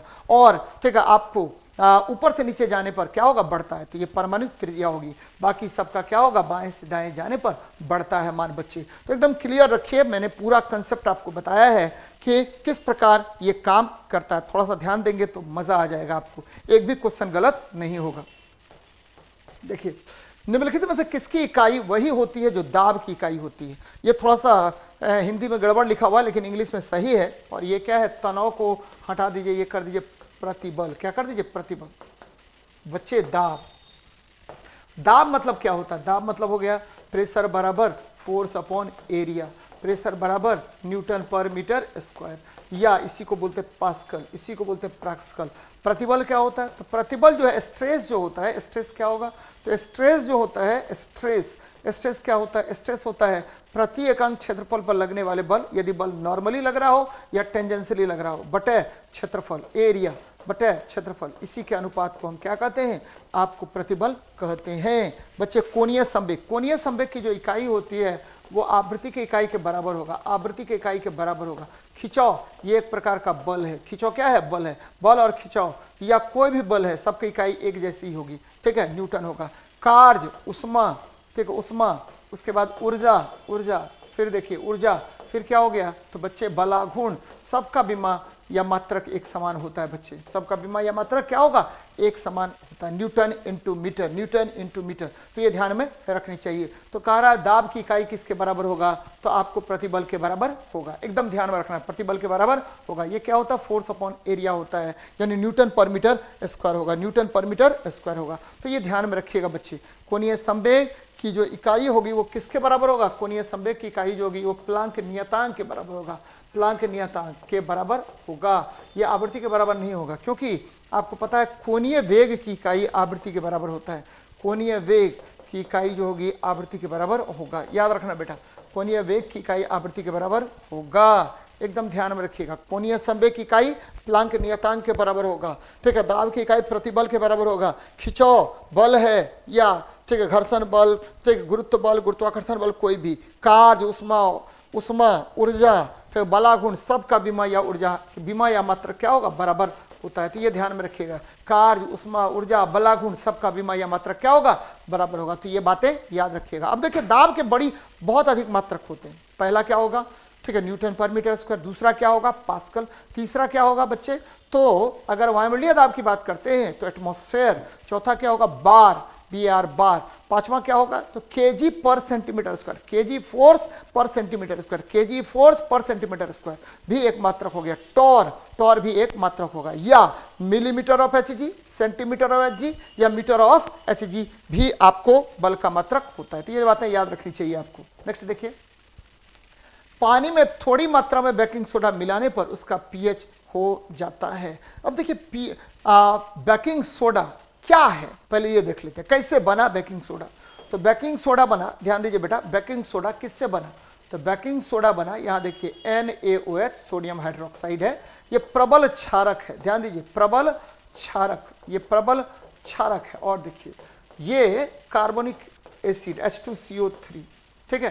कार्बोनिक एसिड है, या निर्बल अम्ल है, निर्बल अम्ल है, निर्बल अम्ल है। यानी प्रबल क्षारक और निर्बल अम्ल से क्या बनता है? तो बच्चे, ये बेकिंग सोडा का निर्माण होता है NaHCO3 सोडियम हाइड्रोजन कार्बोनेट बन गया। यानी क्या है ये? तो प्रबल क्षारक और निर्बल अम्ल से बना। तो इसकी प्रकृति कैसी होगी बच्चे? तो ये होगा आपको, ठीक है? आपको क्षारकीय लवण, या, ठीक है? आपको लवणीय बोलते हैं, ये होगा, ये कैसा लवण होगा? तो क्षारकीय लवण होगा। बेसिक सॉल्ट होगा, क्षारकीय लवण होगा लवण होगा। बच्चे, ये क्षार की यानी इसकी प्रकृति क्या हो गई? क्षार के समान होगा, क्षार के समान होगा। ठीक है, क्षार के समान होगा। देखिए, मैंने क्या किया है बच्ची? प्रबल क्षारक और निर्बल अम्ल से जब, ठीक है, आपको क्या बना? तो प्रबल क्षारक और निर्बल अम्ल से जब लवण का निर्माण हुआ तो ऐसे लवण को हम क्षारकीय लवण कहते हैं। तो यहाँ देखिए क्या हो जाएगा। प्रबल रूप से क्षारीय, गलत बात है, ठीक है? हाँ दुर्बल रूप से क्षारीय, दुर्बल रूप से क्षारीय ही होना चाहिए। प्रबल रूप से अम्लीय तो होगा ही नहीं, किसी भी अर्थ में अम्लीय नहीं होगा। या तो प्रबल रूप से क्षारीय या दुर्बल रूप से क्षारीय होगा। लेकिन आपको पता होनी चाहिए कि लगभग आपको NaHCO3 यानी सोडियम हाइड्रोजन कार्बोनेट का जो पीएच मान होता है, हल्का सा, ठीक है? हल्का सा क्या होगा? ठीक है, हल्का सा ही होगा बच्चे, बहुत ज़्यादा नहीं होगा, क्योंकि लबन है। ठीक है, इसीलिए यह दुर्बल क्षारीय होगा। अगर ये NaOH एच रहता, तब ये प्रबल क्षारीय होता। लेकिन ये दुर्बल है बोलते चूँकि प्रबल क्षारक और निर्बल अम्ल से बना है, लवण है, इसीलिए ये क्या होगा? तो दुर्बल प्रकृति का होगा। कैसा प्रकृति होगा? तो दुर्बल प्रकृति हो जाएगी। यानी आपको, ठीक है स्ट्रांग नहीं होगा, ये वीक हो जाएगा। क्या होगा? वीक होगा। तो एकदम ध्यान में रखिएगा, पानी में थोड़ी मात्रा में बेकिंग सोडा मिलाने पर उसका पीएच होता है दुर्बल रूप से क्षारी। हल्का सा हल्का सा जो है, वो सात के बाद होगा। सात हो, साढ़े आठ हो तो eight point two eight point three के आसपास हमको लगता है इसका पीएच मान होना चाहिए बच्चे। इसीलिए यह क्या होगा? तो दुर्बल क्षारकीय हो जाएगा। तो एकदम क्लियर है, याद रखना है, प्रबल क्षारक और निर्बल अम्ल से जब कोई लबन का निर्माण होता है तो वो क्या होगा? तो बच्चे वह हो जाएगा निर्बल लबन हो जाएगा, निर्बल क्षारकीय लबन हो जाएगा। एकदम ध्यान में रखिए, लेकिन प्रबल अम्ल और प्रबल क्षारक याद रखिए बच्चे, प्रबल अम्ल और क्या हुआ प्रबल क्षारक से? यदि आपको लवण का निर्माण होगा तो ये उदासीन बनेगा। क्या बनेगा? उदासीन लवण उदासीन लवण बनेगा। उदासीन लवण का निर्माण होता है, एकदम ध्यान में रखना है। और फिर क्या बोल रहे हैं कि अगर आपको प्रबल अम्ल है, निर्बल क्षारक है प्रबल अम्ल और निर्बल क्षारक निर्बल क्षारक। तब क्या होगा? तो प्रबल अम्ल और निर्बल क्षारक से किसका निर्माण होगा? तो बच्चे, ये निर्माण होगा आपको अम्लीय लवण का, अम्लीय लवण का निर्माण होगा। अम्लीय लवण बनेगा। और देखिए तो क्या बच्चे, एकदम याद रखना है, अगर यहाँ पर क्या होगा, प्रबल तो प्रबल मत कीजिए, ठीक है, अब बात कर रहे थे, ये देखिए, प्रबल क्षारक हाँ प्रबल क्षारक और निर्बल लवण, यहाँ देखिए, प्रबल क्षारक और निर्बल निर्बल अम्ल से क्या बनेगा? तो प्रबल क्षारक और निर्बल अम्ल से बनेगा, ध्यान में रखिएगा, ये बनेगा, ठीक है, आपको क्या बनेगा? तो क्षारकीय लवण बनेगा, क्षारकीय लवण बनेगा, बेसिक सॉल्ट बनेगा, क्योंकि आपको बेटा पता है कि एसिड और बेसिस जब आपस में अभिक्रिया करता है तो सॉल्ट और वाटर का निर्माण करता है। सॉल्ट और वाटर का निर्माण करेगा। तो ये बातें याद रखनी चाहिए, बार बार आपसे क्वेश्चन पूछेगा, ठीक है? तो बहुत अच्छा क्वेश्चन है ये। नेक्स्ट देखते हैं। यहाँ देखिए स्पीकर बदलता है। अच्छा क्वेश्चन है बच्चे। ठीक है, हम दो तीन बातें आपको बता रहे हैं जो आपको याद रखना चाहिए। यहाँ देखिए, ऊर्जा ऊर्जा का रूपांतरण होता है। रूपांतरण होता है। ठीक है, ऊर्जा ऊर्जा कभी भी, ऊर्जा नष्ट या ऊर्जा नष्ट या उत्पन्न नहीं होता है। ऊर्जा नष्ट या उत्पन्न नहीं होता है। नहीं होता है। एकदम ध्यान में रखिएगा, ठीक है? अब देखिए, अब क्या कह रहे हैं? मोटर इलेक्ट्रिक मोटर ये क्या करेगा? तो बच्चे, विद्युत ऊर्जा को बदल देता है किसमें यांत्रिक ऊर्जा में। यांत्रिक ऊर्जा में जनरेटर जनरेटर क्या होगा? जनरेटर जो है, ये बदल देता है यांत्रिक ऊर्जा को मैकेनिकल एनर्जी को। किसमें बदलेगा? तो आपको इलेक्ट्रिकल एनर्जी में। चलिए, फिर आते हैं स्पीकर स्पीकर क्या करेगा? तो स्पीकर जो है आपको इलेक्ट्रिकल एनर्जी को किसमें बदलेगा तो इलेक्ट्रिकल एनर्जी को साउंड एनर्जी में। माइक्रोफोन ये क्या होगा? तो माइक्रोफोन ध्यान में रखिएगा माइक्रोफोन ये क्या होगा? तो बच्चे साउंड एनर्जी को बदलता है किसमें तो इलेक्ट्रिकल एनर्जी में। तो ये बहुत सारे एनर्जी रूपांतरण होते रहता है। यहाँ देखिए स्पीकर बोल रहा है तो विद्युत ऊर्जा को ध्वनि ऊर्जा में। ये देखिए बेटा, ये मैग्नेट होता है और ये हो गया और ये डायफ्राम होगा। ये इस तरह का लगा होता है। डायफ्राम और ये क्या होगा? जैसे इसमें इलेक्ट्रिकल एनर्जी प्रवाहित होती है तो डायफ्राम के पैरल ये क्या करेगा? वाइब्रेट करेगा और यह, ठीक है इलेक्ट्रिकल एनर्जी का कन्वर्सन किसमें हो जाएगा? साउंड एनर्जी में कन्वर्सन हो गया। साउंड एनर्जी में ये कन्वर्ट हो जाएगा। तो ये तो याद रखना है आपको बार बार आपसे इस तरह का प्रश्न पूछेगा। चलिए, बहुत अच्छी बात है। आगे बढ़ते हैं। नेक्स्ट क्वेश्चन को देखते हैं, क्या कह रहा है? निकेल से कौन सा रोग होता है? अच्छा क्वेश्चन है बच्चे। जब भी निकेल के चपेट में कोई व्यक्ति आएगा तो उसको एलर्जिक ठीक है एलर्जिक एलर्जिक डर्मेटाइटिस, याद रहे बच्चे, क्या होगा? ठीक है, एलर्जिक, त्वचा संबंधी एलर्जी होता है, त्वचा संबंधी एलर्जी होगा, संबंधी एलर्जी होता है। एकदम ध्यान में रखिएगा, एलर्जी होता है, किससे संबंधित? त्वचा संबंधित एलर्जी होता है, और इसको क्या बोलते हैं? त्वचा त्वचा डर्मेटाइटिस कहेंगे, डर्मेटाइटिस रोग हो जाता है, डर्मेटाइटिस रोग होता है, रोग होता है ध्यान में रखिएगा डर्मेटाइटिस रोग होता है यानी उसको डर्मेटाइटिस हो जाएगा। अब देखिए दम्मा आपको पता है ये आपके लंग से संबंधित रोग है लंग से संबंधित रोग है घुटन यदि होता है घुटन यदि होगा तो आपको क्या उत्पन्न होगा तो दम्मा रोग उत्पन्न होता है। इटाई इटाई आप सभी बच्चों को पता है कि इटाई इटाई रोग जो है कैडमियम की कैडमियम की ठीक है कैडमियम की आ, क्या बोलते हैं आपको बहुलता से पानी में कैडमियम की बहुलता से यह रोग होता है। क्या आपको अगर पानी में क्या होगा, मरकरी की बहुलता हो जाए, मरकरी की बहुलता हो जाएगा तो कौन सा रोग होगा? तो मिनी माता होगा। कौन सा? मिनी माता रोग होता है। मिनी माता रोग होगा। अगर आपके पानी में स्ट्रोंसियम की बहुलता हो जाए तो स्ट्रोंसियम की बहुलता हो जाए तो क्या होगा बच्चे? तो याद रखिएगा, ये जनरली हृदय कैंसर होता है। हृदय कैंसर होता है। लेकिन अगर आपके पानी में आर्सेनिक की मात्रा बहुत अधिक हो जाए तो ये क्या होगा? तो ये किसी भी प्रकार का कैंसर उत्पन्न करता है। किसी भी प्रकार का कैंसर उत्पन्न करने का काम करेगा बच्चे।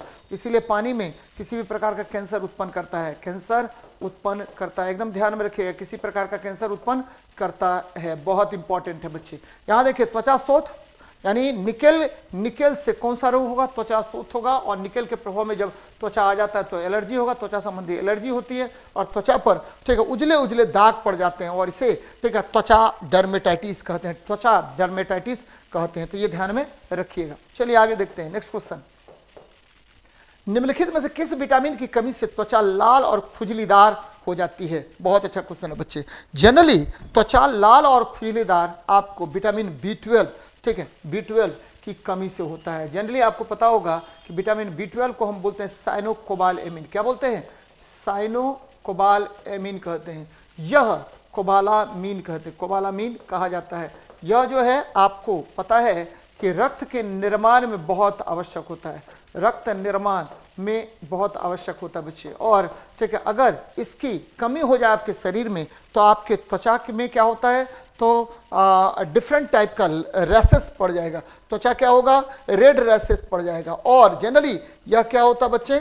ठीक है जनरली आपको जनरली हमारे त्वचा में किस तरह का काम होगा बच्चे? तो हमारे त्वचा में आँख या आँख या त्वचा के नीचे जो है, त्वचा के नीचे काफ़ी अधिक लाल हो जाता है। ये देखिए, विटामिन बी वन जो है, इसको थाइमीन कहते हैं। क्या कहते हैं? थाइमीन कहते हैं। और इसकी कमी से बेरी बेरी रोग होता है। ये भी त्वचा से संबंधित रोग है बच्चे। लेकिन त्वचा क्या होगा? इसमें रूखा होता है। रुखड़ा त्वचा हो जाएगा। रुखड़ा त्वचा हो जाएगा। रुखड़ा त्वचा होता है। अब देखिए, यहाँ पर क्या होता है? आपको विटामिन बी नाइन, ये फॉली फॉलिएट है या फॉलिक एसिड है। फॉलिक एसिड है। और इसकी कमी से भी आपको रक्त की कमी होगा, हो जाएगी। रक्त की अधिक अधिक कमी हो जाती है बच्चे, अधिक कमी होता है। और विटामिन बी सेवन, इसको क्या बोलते हैं? बायोटीन कहते हैं, बायोटीन कहते हैं। और ये बड़ा इंपॉर्टेंट विटामिन बी सेवन है। क्यों इंपॉर्टेंट है? तो बच्चे, इसकी वजह से, ध्यान दीजिएगा, इसकी वजह से एलोपेसिया हो जाता है, यानी बाल, आपको क्या होगा? तो देखिएगा, लेडीज़ में या जेंट्स में क्या होता है? तो बाल काफ़ी उड़ जाते हैं, बाल उड़ जाते हैं। और ठीक है, लेडीज़ में प्राय क्या होगा, संपूर्ण बाल उड़ जाता है, पूरा जो है टकला बन जाएगा व्यक्ति, ठीक है। ऐसे हम भी टकले हैं, लेकिन क्या है, एलोपेसिया है ये, क्या है एलोपेसिया बोलते हैं इसको। यानी ठीक है आपको चाँद के समान आकार बन जाना, ये देखिए बाल किसी स्थान विशेष से उड़ जाना तो ये सब एलोपेसिया है। ये जनरली विटामिन बी सेवन की कमी से होता है, जिसको हम बायोटीन कहते हैं। क्या कहते हैं बायोटीन एक तरफ़ से रिपीट कर रहे हैं विटामिन बी ट्वेल्व को साइनोकोबालेमिन कहते हैं विटामिन बी वन को थायमिन कहते हैं विटामिन बी नाइन को फॉलिक एसिड कहते हैं और फॉलिएट कहा जाता है विटामिन बी सेवन को हम बायोटीन कहते हैं। सबके कमी से मैंने रोग आपको बता दिया। फॉलिक एसिड देखिएगा जनरली गर्भवती महिलाओं को खाने की सलाह दी जाती है। कौन? फॉलिक एसिड खाइए आप। ठीक है, जिससे क्या होगा कि आपके शरीर में रक्त की मात्रा बढ़ जाएगी। गर्भवती महिलाओं को ज़्यादा सलाह दी जाती है खाने के लिए। फॉलिक एसिड का टेबलेट चलिए, बहुत इंपॉर्टेंट है बच्चे। नेक्स्ट देखते हैं। जो सूक्ष्म जीव कार्बन डाइऑक्साइड की उच्च सांद्रता में विकसित हो गई, उसको क्या बोलते हैं? कैप्नोरागी कहते हैं बच्चे। क्या कहते हैं? कैप्नोरागी कहते हैं। बहुत इंपॉर्टेंट है। कैप्नोरागी बोलिए, या एक से होता है कैनोफिल कैनोफिल्स कैनोफिल्स बोलिए बच्चे। कैनोफिल्स कहा जाता है। कैनोफिल्स कहा जाता है। अब देखिए, हायर ऑस्मोटिक प्रेशर में जो उत्पन्न होगा, उसको क्या बोलेंगे? तो बच्चे, ठीक है, परासन परासरन रागी बोलेंगे परासरन रागी बोलेंगे, ऑस्मोफिल्स बोलते हैं। ऑस्मोफिल्स कहा जाता है।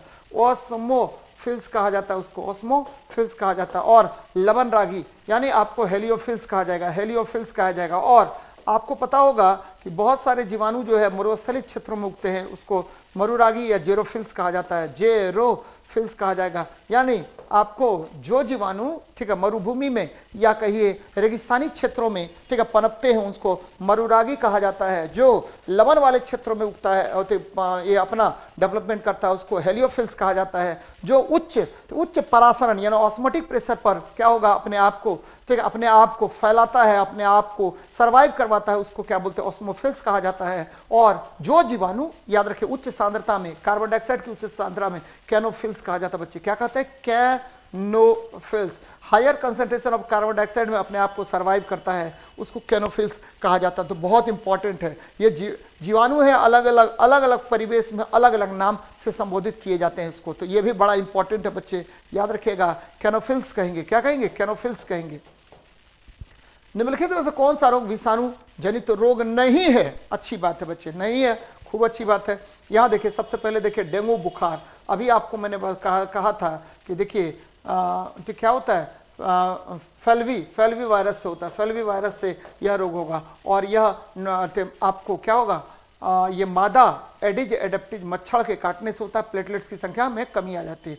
इबोला इबोला भी आपको क्या है? तो जीका निपाह वायरस ठीक है इबोला इत्यादि जो है आपको ठीक है विषाणु जनित रोग है। विषाणु के कारण होता है बच्चे ठीक है। अब देखिए सार्स ये क्या है? सार्स अभी तुरंत मैंने बताया था आपको कि ये देखिए सीवियर एक्यूट रेस्पिरेटरी सेंड्रोम ठीक है? सीवियर सीवियर एक्यूट एक्यूट और एक्यूट रेस्पिरेटरी सेंड्रोम होता है। एक्यूट रेस्पिरेटरी सेंड्रोम होता है बच्चे सेंड्रोम होता है। ये किसकी वजह से होगा? तो ये जनरली सार्स जो है, यह, ठीक है, यह भी आपको विषाणु जनित रोग ही है।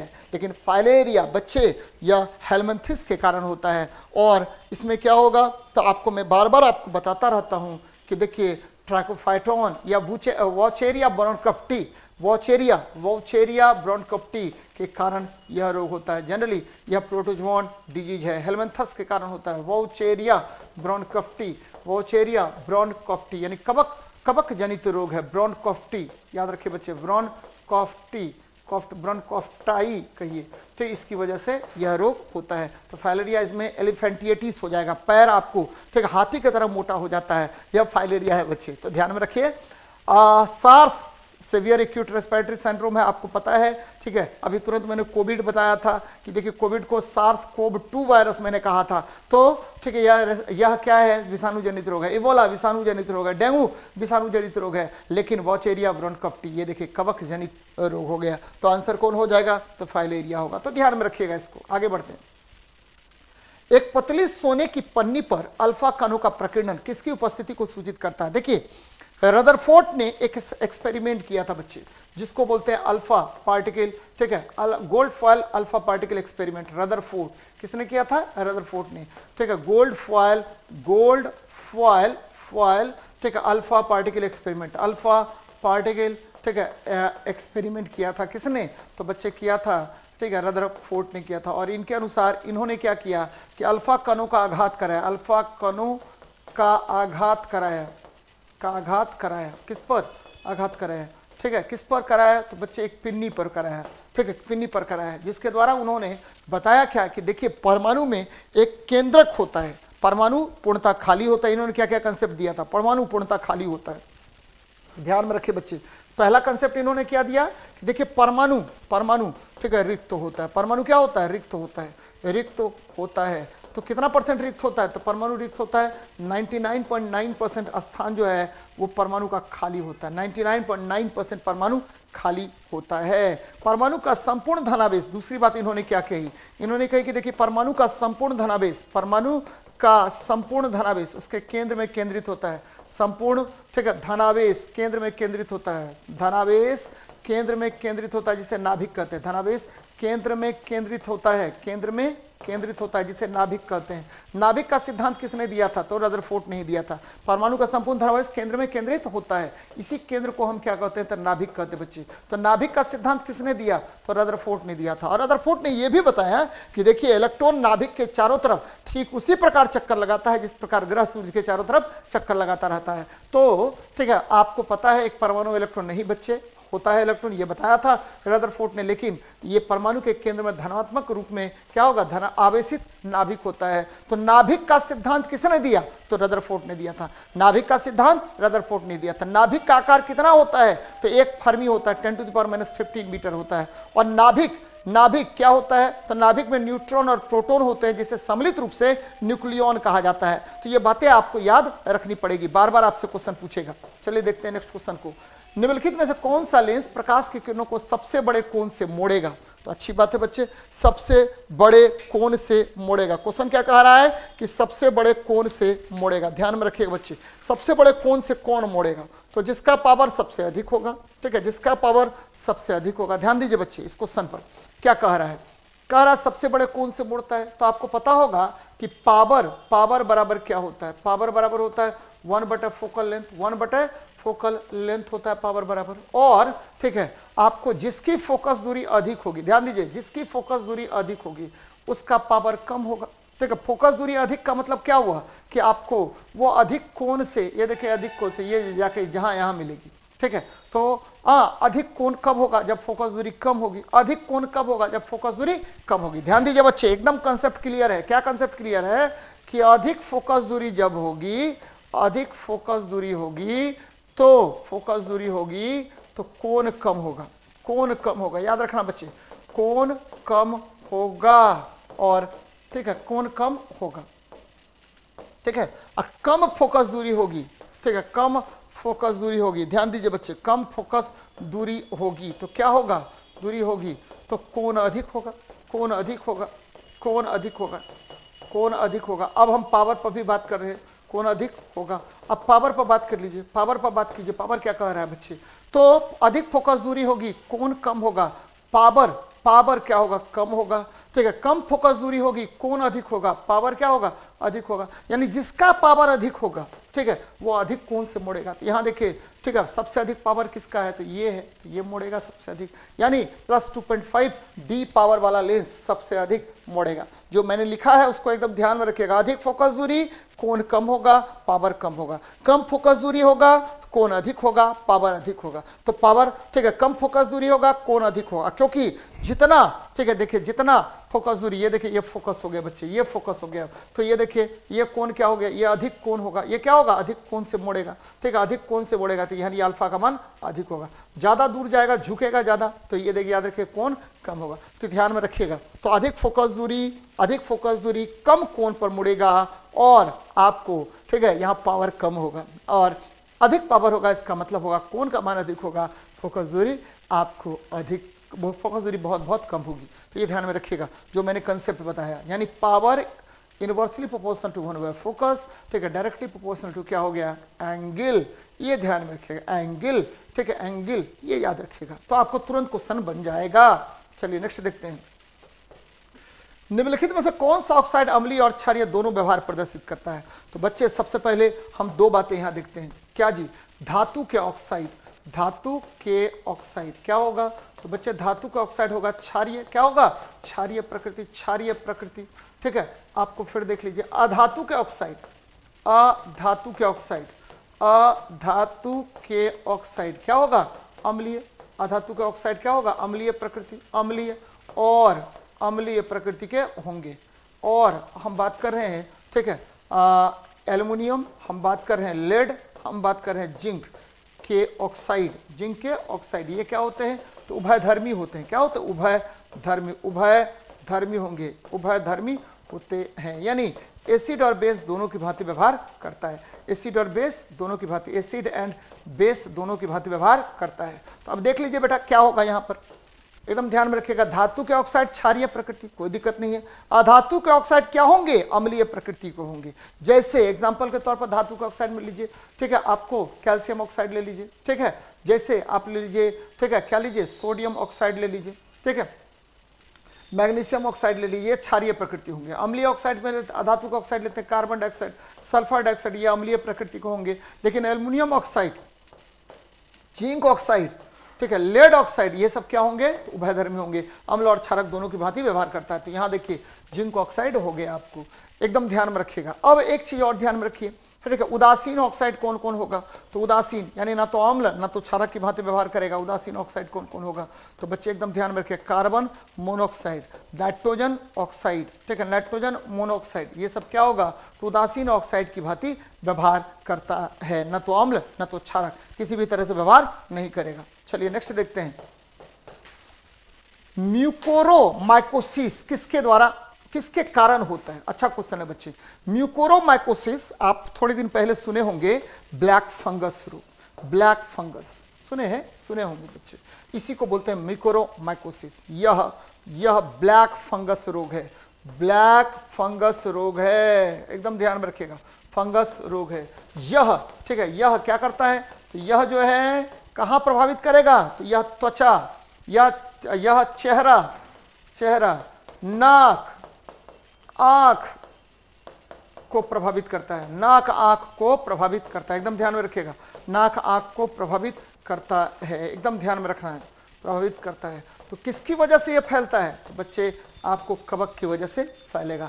म्यूकोरोमैकोसिस एक प्रकार का ब्लैक फंगस रोग है। यह क्या होगा? तो बच्चे, यह जो है मुँह को, यह जो है आँख को, यह जो है मस्तिष्क को, यह चेहरा को प्रभावित करता है। और याद रखना, इसमें क्या होगा? तो इसमें जनरली सिम्टम क्या होंगे? तो म्यूकोरोमैक्सिस में सिम्टम सबसे पहला तो फीवर होगा, ठीक है? तो चेहरा में पेन होगा, चेहरा में दर्द, काफ़ी ज़्यादा दर्द, चेहरा में दर्द होता है। बहुत ठीक है और तेज दर्द होता है बेटा, असहनीय दर्द होगा। तो म्यूकोरोमैक्सिस ब्लैक फंगस रोग है या चेहरा नाक, आँख को प्रभावित करता है, फीवर, चेहरा में दर्द इत्यादि, किसकी वजह से? तो म्यूकोरोमैकोसिस की वजह से होता है। बहुत अच्छी बात आगे देखते हैं। निम्नलिखित में से कौन सा से किया लिंग? ठीक है जेंडर से संबंधित है बच्ची। अच्छी बात है। अरे, ये क्या बात हुई? तो रॉयल एनोफीलिया रॉयल हेमोफीलिया बच्चे इसमें क्या होता है? आपको हेमोफीलिया में क्या होगा? रक्त का थक्का नहीं जमता है। एकदम ध्यान में रखिएगा। रक्त का थक्का नहीं जमता है। अच्छी बात है। और क्या होगा? और एक और चीज़ होगा बेटा। क्या होगा?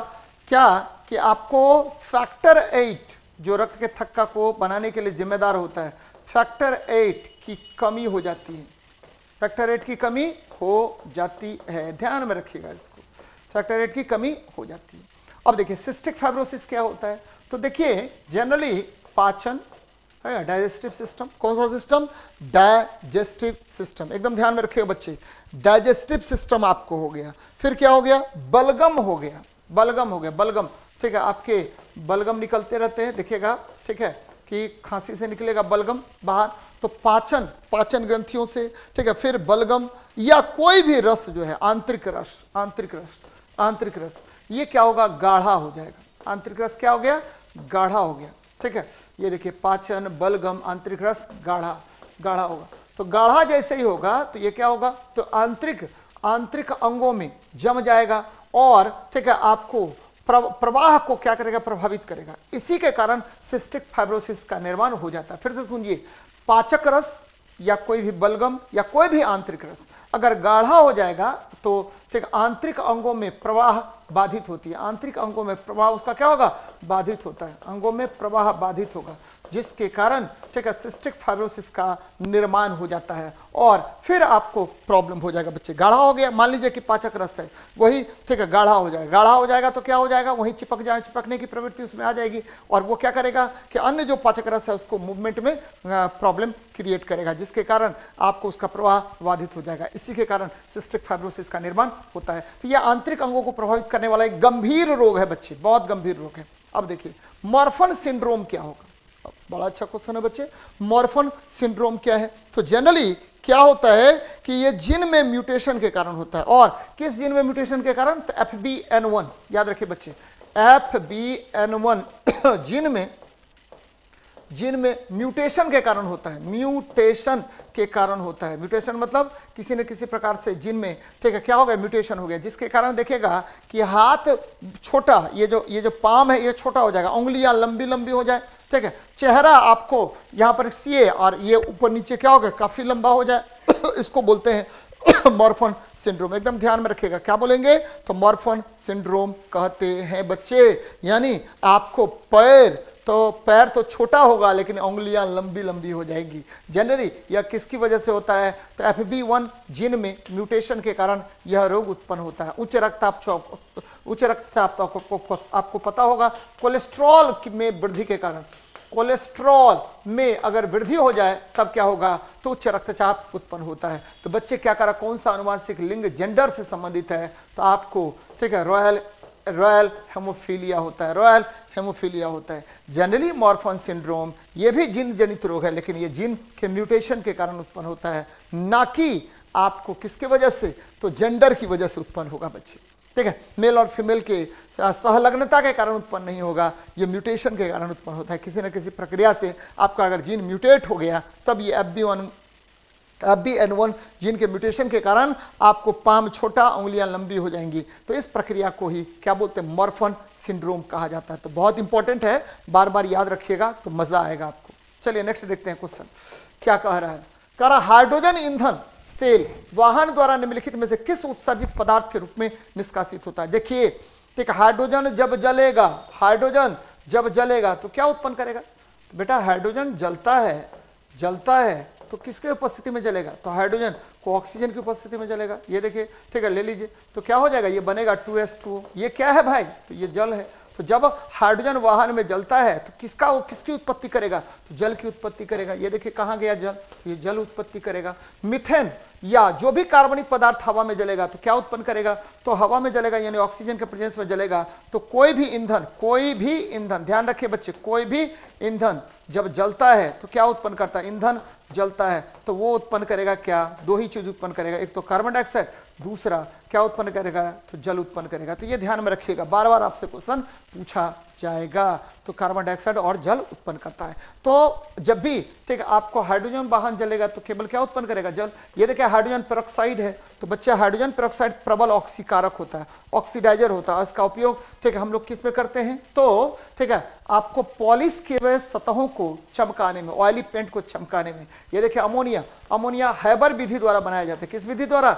हैबर विधि द्वारा। बनाए जाते हैं और उच्च ताप और उच्च दाब पर हम क्या करते हैं कि लौह चूर्ण की उपस्थिति में आपको नाइट्रोजन और हाइड्रोजन की जब अभिक्रिया कराते हैं तो अमोनिया का निर्माण होता है। बड़े बड़े कोल्ड स्टोरेज में ठंडा उत्पन्न करने के लिए अमोनिया का प्रयोग किया जाता है। तो ये सब बातें याद रखिएगा, बहुत मज़ेदार क्वेश्चन है। चलिए, नेक्स्ट क्वेश्चन देखते हैं। निम्नलिखित में से किसकी घुलनशील मात्रा के आधार पर नदियों में जल को मापा जाता अच्छा क्वेश्चन है बेटा, क्या ऑक्सीजन? जल में ऑक्सीजन घुला होगा। यहाँ देखिए, आपको पता है तीन वर्ड मैं यूज़ कर रहा हूँ। पहला बॉड, दूसरा कॉड ठीक है, और तीसरा डिजॉल्व ऑक्सीजन देखिए, प्रति ग्राम जल में जितने ऑक्सीजन घुले हों, उसे, ठीक है, आपको क्या कहते हैं? एक ग्राम जल में जल में घुले ऑक्सीजन की मात्रा, जल में घुले ऑक्सीजन की मात्रा, बच्चे, घुले ऑक्सीजन की मात्रा को हम क्या कहते हैं? तो डीओ कहते हैं डिजॉल्व ऑक्सीजन कहते हैं। देखिए क्या हुआ? कॉड क्या हुआ? सभी कार्बनिक पदार्थों के, जो भी है, चाहे वो जीवित है या अजीवित है, जो भी है बच्चे, सभी कार्बनिक पदार्थों के पूर्ण ऑक्सीकरण के लिए आवश्यक ऑक्सीजन की मांग को हम केमिकल ऑक्सीजन डिमांड कहते हैं। सभी कार्बनिक पदार्थों के, कार्बनिक पदार्थों के, कार्बनिक पदार्थों के, ठीक है, कार्बनिक पदार्थों के पूर्ण ऑक्सीकरण के लिए, पूर्ण ऑक्सीकरण के लिए, ऑक्सीडेशन के लिए आवश्यक ऑक्सीजन की मांग को, ऑक्सीडेशन के लिए, ठीक है, आवश्यक ऑक्सीजन के लिए आवश्यक ऑक्सीजन को हम क्या कहते हैं? कॉड कहते हैं। और जनरली कॉड ठीक है कॉड आपको पता है, यही वास्तविक जल के, ठीक है, प्रदूषण को बताने वाला कारक होता है बच्चे कॉड ही। अब देखिए, बॉड। बॉड क्या होता है? बायोलॉजिकल ऑक्सीजन डिमांड हो गया। बायोलॉजिकल ऑक्सीजन डिमांड हो गया।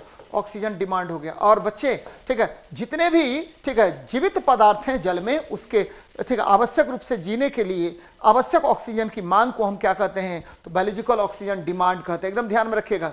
जितने भी, ठीक है, मैं लिख भी रहा हूँ, जितने भी जीवित पदार्थ हैं, जितने जीवित पदार्थ हैं, जितने जीवित पदार्थ हैं, जीवित पदार्थ हैं, ठीक है, उनके उनके जीने के लिए, उनके जीने के लिए, जिन्हें के लिए आवश्यक ऑक्सीजन के लिए आवश्यक ऑक्सीजन को हम क्या कहेंगे? आवश्यक ऑक्सीजन को हम क्या कहते हैं? तो बच्चे बॉड कहते हैं बायोलॉजिकल ऑक्सीजन डिमांड कहते हैं। और, ठीक है, आपको बायोलॉजिकल ऑक्सीजन डिमांड अगर ज़्यादा होगा बॉड ज़्यादा होगा तो जल प्रदूषित होगी। बॉड ज़्यादा तो जल प्रदूषित, एकदम ध्यान में रखिएगा, जल प्रदूषित होगा। और जल प्रदूषित होता है, ध्यान में रखिए बच्चे और बॉड अगर कम होगा, बॉड अगर कम होगा, बॉड अगर कम होगा तो जल क्या होगा? तो जल, ठीक है, प्रदूषित नहीं होगा, जल प्रदूषित नहीं होता, ध्यान में रखिएगा, जल प्रदूषित नहीं होता है। बच्चे, एकदम याद रखना बच्चे। क्या याद रखना है? कि जल के प्रदूषण को की, को मापने के लिए हम बॉड का मान मापते हैं। बॉड का मान अगर अधिक होता है तो जल क्या होगा? प्रदूषित नहीं। प्रदूषित होगा, बॉड का मान बहुत अधिक तो जल बहुत अधिक प्रदूषित। ठीक है? और बॉड का मान अगर कम होगा तो जल कम प्रदूषित होता है। तो एकदम ध्यान में रखिएगा। यहाँ देखिए, नाइट्रोजन, आपको पता है, नाइट्रोजन एन टू खोज करता रदरफोर्ड क्लोरीन ये जो है, हरित पीली गैस होती है या हेलोजन है, और ओजोन ऑक्सीजन का अपरूप होता है। ऑक्सीजन का क्या होगा? अपरूप होता है। तो ये ध्यान में रखनी चाहिए आप लोगों को। चलिए नेक्स्ट देखते हैं, क्या कह रहा है क्वेश्चन है। निम्नलिखित ऐसे किस प्रकार का कांच पराबैंगनी किरणों को रोकता है? अच्छा क्वेश्चन है बच्चे। यहाँ देखिए, सबसे पहले हम सोडा कांच देखते हैं। सोडा कांच, सोडा ग्लास सोडा ग्लास। ये किसका बना होता है? तो यह सोडियम सिलिकेट होता है। सोडियम सिलिकेट होता है। एकदम याद रखिए बच्चे, सोडियम सिलिकेट। सिंपल जो है, सिंपल ग्लास बनाने में। ग्लास बनाने में, ग्लास समझ रहे हैं ना? ठीक है, चाय का ग्लास आप चाय पीते होंगे। तो soda glass soda glass sodium silicate के बने होते हैं और जनरली ये साधारण कांच होते हैं। जनरली खिड़की उड़की में हम लोग लगाते हैं, या कांच का ग्लास बनाते हैं, कांच के बर्तन भी बनाते हैं, लेकिन अब बर्तन तो अलग अलग प्रकार का बर्तन होगा। अब देखिए, क्रुक्स कांच, ध्यान दीजिए बच्चे, क्रुक्स क्रुक्स कांच बोल रहे हैं। क्रुक्स कांच बोलते हैं। जनरली यह पराबैंगनिक किरणों को रोकने का काम करता है। यह पराबैंगनिक किरणों को रोकने का काम करता है। इसमें क्या होता है? तो इसमें ध्यान में रखिएगा, इसमें क्या होगा? तो सीरियम ऑक्साइड का प्रयोग होता है। बच्चे ये बराबर पूछता है, सीरियम ऑक्साइड का यूज़ करेंगे। सीरियम ऑक्साइड का यूज़ करते हैं। और ये क्या होता है बच्चे? ये जो है, ठीक है, आपको धूप चश्मा में यूज़ होता है। पराबैंगनी किरणों को अवशोषित करता है। धूप चश्मा में हम इसका प्रयोग करते हैं, क्रुक्स कांच का। अब देखिए, अब आते हैं पैरेक्स कांच। कौन सा कांच? पैरेक्स पैरेक्स कांच आते हैं। और ये क्या होता है? तो पैरेक्स कांच जो है, ये बोरोसिलिकेट इसमें होता है बोरोसिलिकेट और यह उच्च ताप पर, उच्च ताप पर आपको तापमान परिवर्तन का कोई प्रभाव इस पर नहीं होता। बोरोसिलिकेट का बना होता है। इसीलिए इसीलिए इसका यूज़ करते हैं क्या? प्रयोगशाला बर्तन में करेंगे। प्रयोगशाला बर्तन में करते हैं बच्चे। प्रयोगशाला बर्तन में किया जाता है, क्योंकि इस पर तापांतर का कोई खास प्रभाव नहीं पड़ता है। प्रयोगशाला बर्तन में इसका प्रयोग करते हैं। और अंत में आइए, जेना कांच। सबसे अच्छा कांच कौन होता है? तो जेना कांच होता है। बच्चे, इसमें जिंक और बेरियम सिल, बेरियम बोरोसिलिकेट होता है। जिंक और बेरियम बेरियम बोरोसिलिकेट इसमें होता है। जिंक और बेरियम बोरोसिलिकेट इसमें होगा। और इसका, इस पर अम्ल और क्षारक का कोई प्रभाव नहीं पड़ता है। तो जनरली अम्ल और क्षारक को रखने के लिए सबसे अच्छा कांच, ध्यान में रखेगा सबसे अच्छा कांच कौन होगा? तो जेना कांच होता है। तो ये ध्यान में रखेगा सोडा कांच, ठीक है, सोडियम सिलिकेट ठीक है सिंपल कांच बनाने में, ठीक है, क्रुक्स कांच धूप चश्मा बनाने में सीरियम ऑक्साइड होता है और, ठीक है, प्रयोगशाला बर्तन बनाने में यानी उच्च ताप को सहन करे, उसको बनाने के लिए हम लोग किसका यूज़ करते थे? पायरेक्स कांच और जेना कांच, आपको पता है, जिंक बोरोसिलिकेट सबसे अच्छा कांच होगा। अब देखिए क्वेश्चन में क्या कर रहा है, कांच पराबैंगनी किरणों को तो क्रुक्स कांच। याद रखिए, धूप चश्मा में इसी का प्रयोग हम लोग करते हैं। बहुत इंपॉर्टेंट है बेटा, सोडा, ग्लास, सोडियम सिलिकेट कांच, सिंपल कांच हो गया। बार बार आपसे पूछेगा कि सबसे अच्छा कांच कौन? तो सबसे अच्छा कांच, ध्यान में रखे बच्चे, सबसे अच्छा कांच कौन होगा? तो ये हो जाएगा, आपको याद रखना है जेना कांच। जेना कांच सबसे अच्छा कांच होता है। आगे बढ़ते हैं। नेक्स्ट देखिए, कह रहा एरिथ्रोपोइटीन का उत्पादन कहाँ होता है? बच्चे, बड़ा अच्छा क्वेश्चन है। एरिथ्रोपोटीन जो है, यह कहाँ से होगा उत्पादित? तो यह होगा ब्रिक से उत्पादित होता है। ब्रिक से। अब आप बोल सकते हैं कि, सर, क्या हार्मोनो उत्पादित होता है ब्रिक से? तो हाँ बच्ची, ये ब्रिक से उत्पन्न होगा और ब्रिक में कहाँ से, कहाँ होगा? पेरिटिब्यूल्स पेरिटिब्यूलर सेल से उत्पन्न होगा। पेरिटिब्यूलर सेल से यह उत्पन्न होता है। एकदम याद रखिए पेरिटिब्यूलर सेल्स से उत्पन्न होता है। सेल्स से उत्पन्न होता है। आप पूछ सकते हैं मेरे से कि, सर, ये काम क्या करता है? तो एरिथ्रोप्रोटीन क्या करेगा? तो यह यह आरबीसी के उत्पादन को प्रेरित करता है। आरबीसी के उत्पादन को ध्यान में रखिएगा आरबीसी के उत्पादन को प्रभावित करता है। यानी it increases the increases the number of RBC उत्पादन को क्या करता प्रेरित करता बच्चे। और इसी की वजह से प्रेरित करता इसी की वजह से आ, आपको क्या होगा तो आपको अधिक से अधिक मात्रा में आरबीसी उत्पादित होगा। अस्थि मज्जा आप सभी बच्चों को पता है कि आरबीसी कहाँ से उत्पन्न होता है तो अस्थि मज्जा से ठीक है? अस्थि मज्जा से। अस्थि मज्जा से क्या क्या उत्पन्न होगा बेटा? तो एकदम बोन मेरो से ये उत्पादित होगा आरबीसी भी उत्पादित होगा, आपको डब्ल्यूबीसी भी होगा और प्लेटलेट्स भी होगा। प्लेटलेट्स भी होगा। प्लेट लेट्स भी होता है। कहाँ पर उत्पादित होगा? तो ठीक है, आपके अस्थि मज्जा से होगा। प्लीहा, यानी स्प्लीन इसे ठीक है, रक्त का कब्रगाह कहा जाता है। रक्त का कब्रगाह कहा जाता है। ध्यान में रखिएगा कब्र गाह कहते हैं रक्त का, और मैग, मेगा कैरियोसाइट, बच्चे बड़ा अच्छा है। मेगा कैरियोसाइट जो है, प्लेटलेट्स का उत्पादन करता है बच्ची। ठीक है, अस्थि मज्जा में भले ही उत्पादित होगा तो मेगा कैरियो, कैरियोसाइट जो है, प्लेटलेट्स के उत्पादन, प्लेटलेट्स का उत्पादन करता है। प्लेटलेट्स का उत्पादन कौन करता है? तो मेगो कैरियोसाइट्स करेगा। ध्यान में रखिएगा। ठीक है, बनता है कहाँ पर? तो ये बनता है प्लेटलेट्स कहाँ बनता है? अस्थि मज्जा में। लेकिन इसके उत्पादन को प्रभावित करने का काम कौन करता है? तो मेगियो मेगा कैरियोसाइट करता है। प्लेटलेट्स का उत्पादन कौन करेगा? अगर पूछेगा कि विच प्रोड्यूसेस ठीक है प्लेटलेट्स तो megakaryocyte produces platelets but it produced in bone marrow कहाँ पर प्रोड्यूस होता है? तो होता है स्थान हो गया अस्थि मज्जा में, लेकिन कौन इसको उत्पादित करता है? तो मेगो कैरियोसाइट्स इसको उत्पादित करता है। तो ये ध्यान में रखनी चाहिए आप लोगों को। चलिए नेक्स्ट क्वेश्चन देखते हैं। अस्थि से अस्थि तो आसान क्वेश्चन है बेटा। क्यों? क्योंकि मैं बार बार आपको बताता हो रहता हूँ कि देखिए बीबीएल ध्यान दीजिएगा बीबीएल और एमबीटी ये ये याद रखना है आपको। क्या याद रखना है? अब क्या हुआ बीबीएल का मतलब? बीबीएल का मतलब हो गया बीबीएल का मतलब हो गया bone bone ligament bone bone ligament एकदम ध्यान में रखिए बच्चे बोन बोन लिगामेंट हो गया। ठीक है? लिगामेंट मतलब क्या होता है? स्नायु। क्या होगा? स्नायु। तो अस्थि अस्थि को कौन जोड़ेगा? तो बीबीएल यानी स्नायु जोड़ेगा स्नायु जोड़ेगा। और, ठीक है, आपको muscle bone tendon muscle bone tendon यानी पेशी को, पेशी और अस्थि को कौन जोड़ेगा? तो पेशी और अस्थि को जोड़ने का काम कौन करता है? तो टेंडन करता है टेंडन करता है। ठीक है, मोहम्मद बिन तुगलक, याद रखिएगा, मोहम्मद बिन तुगलक, यानी एमबीटी अस्थि अस्थि मांसपेशी को जोड़ने का काम टेंडन करता है और अस्थि अस्थि को जोड़ने का काम कौन करेगा? तो लिगामेंट करेगा। तो यहाँ देखिए, अस्थि से अस्थि को कौन जोड़ेगा? तो लिगामेंट स्नायु। और कंडरा, मैंने अभी तुरंत बताया, कंडरा टंडन होता है, टंडन होता है, यानी मसल को बोन से अटैच करेगा। कौन? टंडन करेगा। तो ध्यान में रखिएगा, पेशियाँ, आपके शरीर में पेशियाँ होती है, लगभग, ठीक है, छह सौ पेशियाँ हमारे शरीर में पाई जाती हैं तरह तरह की पेशियाँ होती है बच्चे ज्वाइंट ठीक है, जहाँ पर दो हड्डियाँ आपस में जुड़ती हैं, उस जगह को हम क्या कहते हैं तो ज्वाइंट्स कहते हैं, और यहीं पर बोन मेरो पाया जाता है, जो आरबीसी और डब्ल्यूसी के उत्पादन को प्रभावित करता है। तो ध्यान में रखिएगा। चलिए नेक्स्ट देखिए।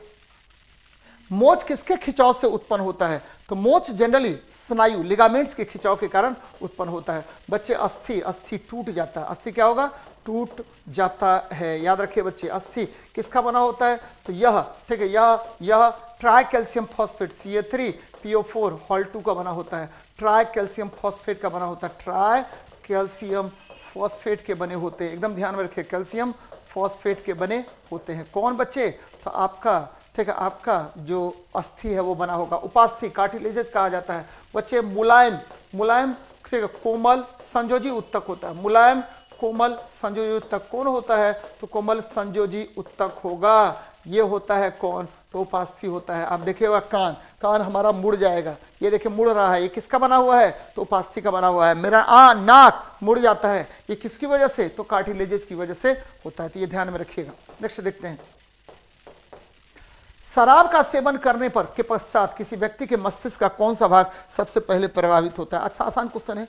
बच्चे, शरीर में, देखिएगा, जैसे ही शराब पिएगा, सबसे पहले शरीर का शरीर का, शरीर की गति, शरीर की गति या मूवमेंट प्रभावित होती है। मूवमेंट प्रभावित होती है। यानी आपका सेरिबेलम प्रभावित मूवमेंट प्रभावित होती है, ठीक है? गति प्रभावित होती है, यानी आपका मूवमेंट प्रभावित होगा बच्चे, और ये सेरिबेलम की वजह से होता है। अब देखिए, यहाँ पर देख लीजिए सेरिब्रम ये क्या होता है? तो बुद्धि, विवेक, ज्ञान का केंद्र बिंदु होता है। बुद्धि, विवेक और ज्ञान का केंद्र बिंदु होता है। ज्ञान का केंद्र बिंदु होता है। एकदम ध्यान में रखिएगा, ज्ञान का केंद्र बिंदु होता है बच्चे, बहुत इंपॉर्टेंट है।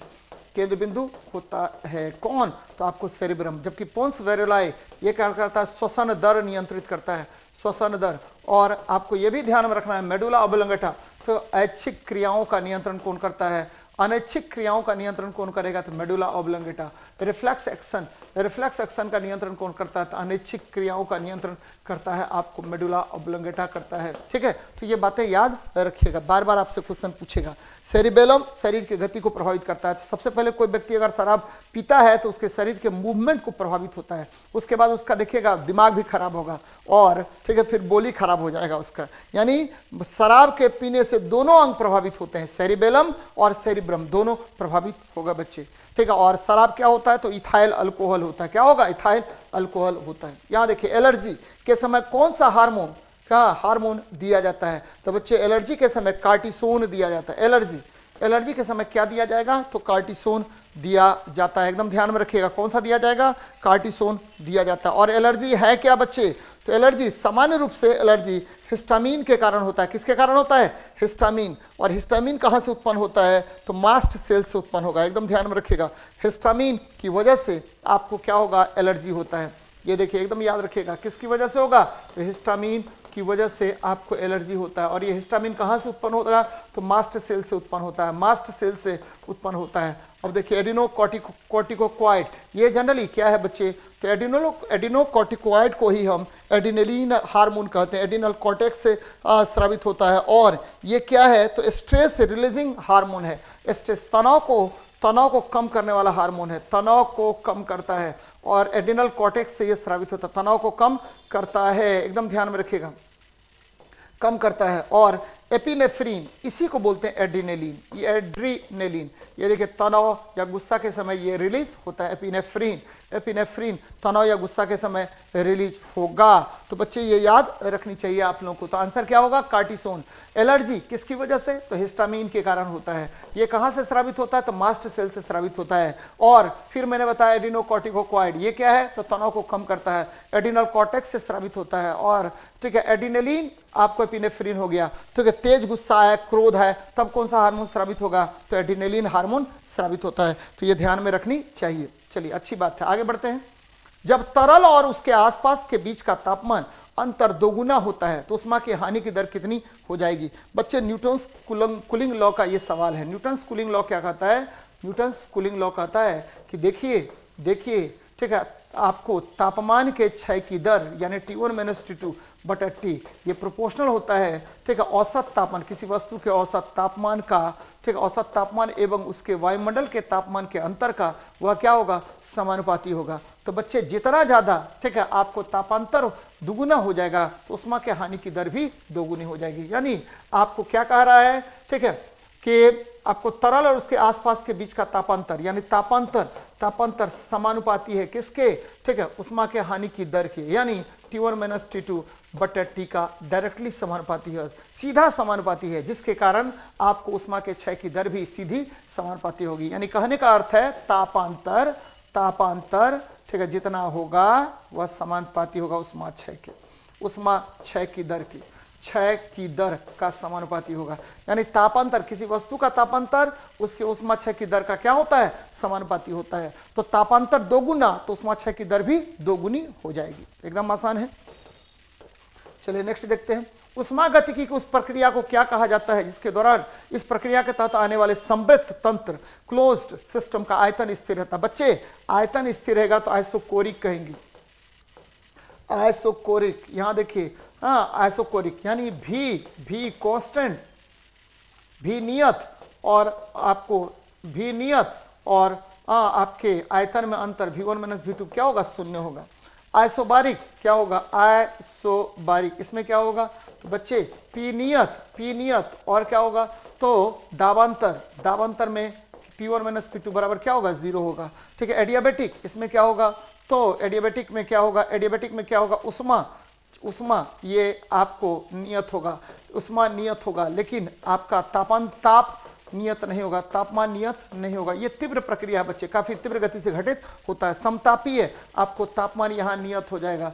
तापमान यह नियत हो जाएगा, और तापांतर तापांतर क्या हो जाएगा, ये शून्य के बराबर होगा।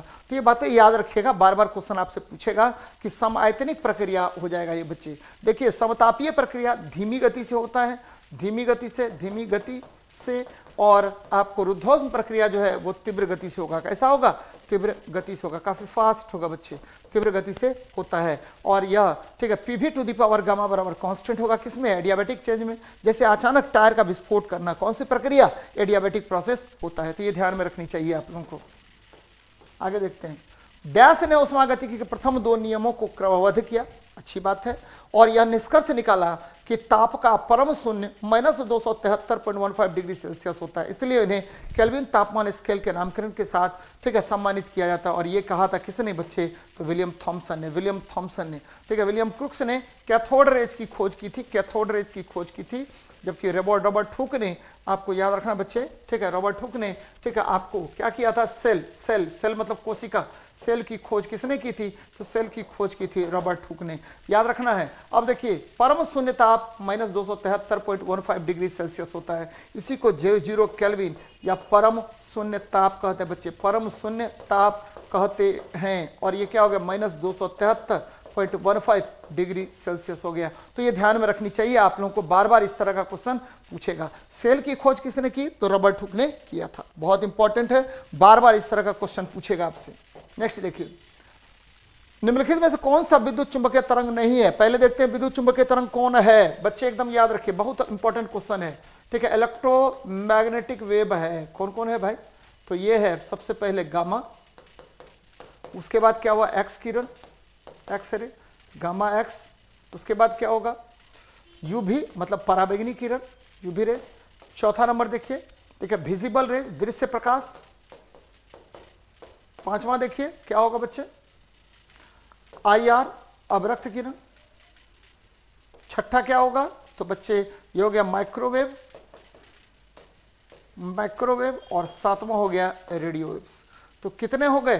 तो ये हो गए, आपको सात विद्युत चुंबकीय तरंग होते हैं। कौन कौन तो gamma X UV visible I R micro और रेडियो कैसे याद रखेंगे?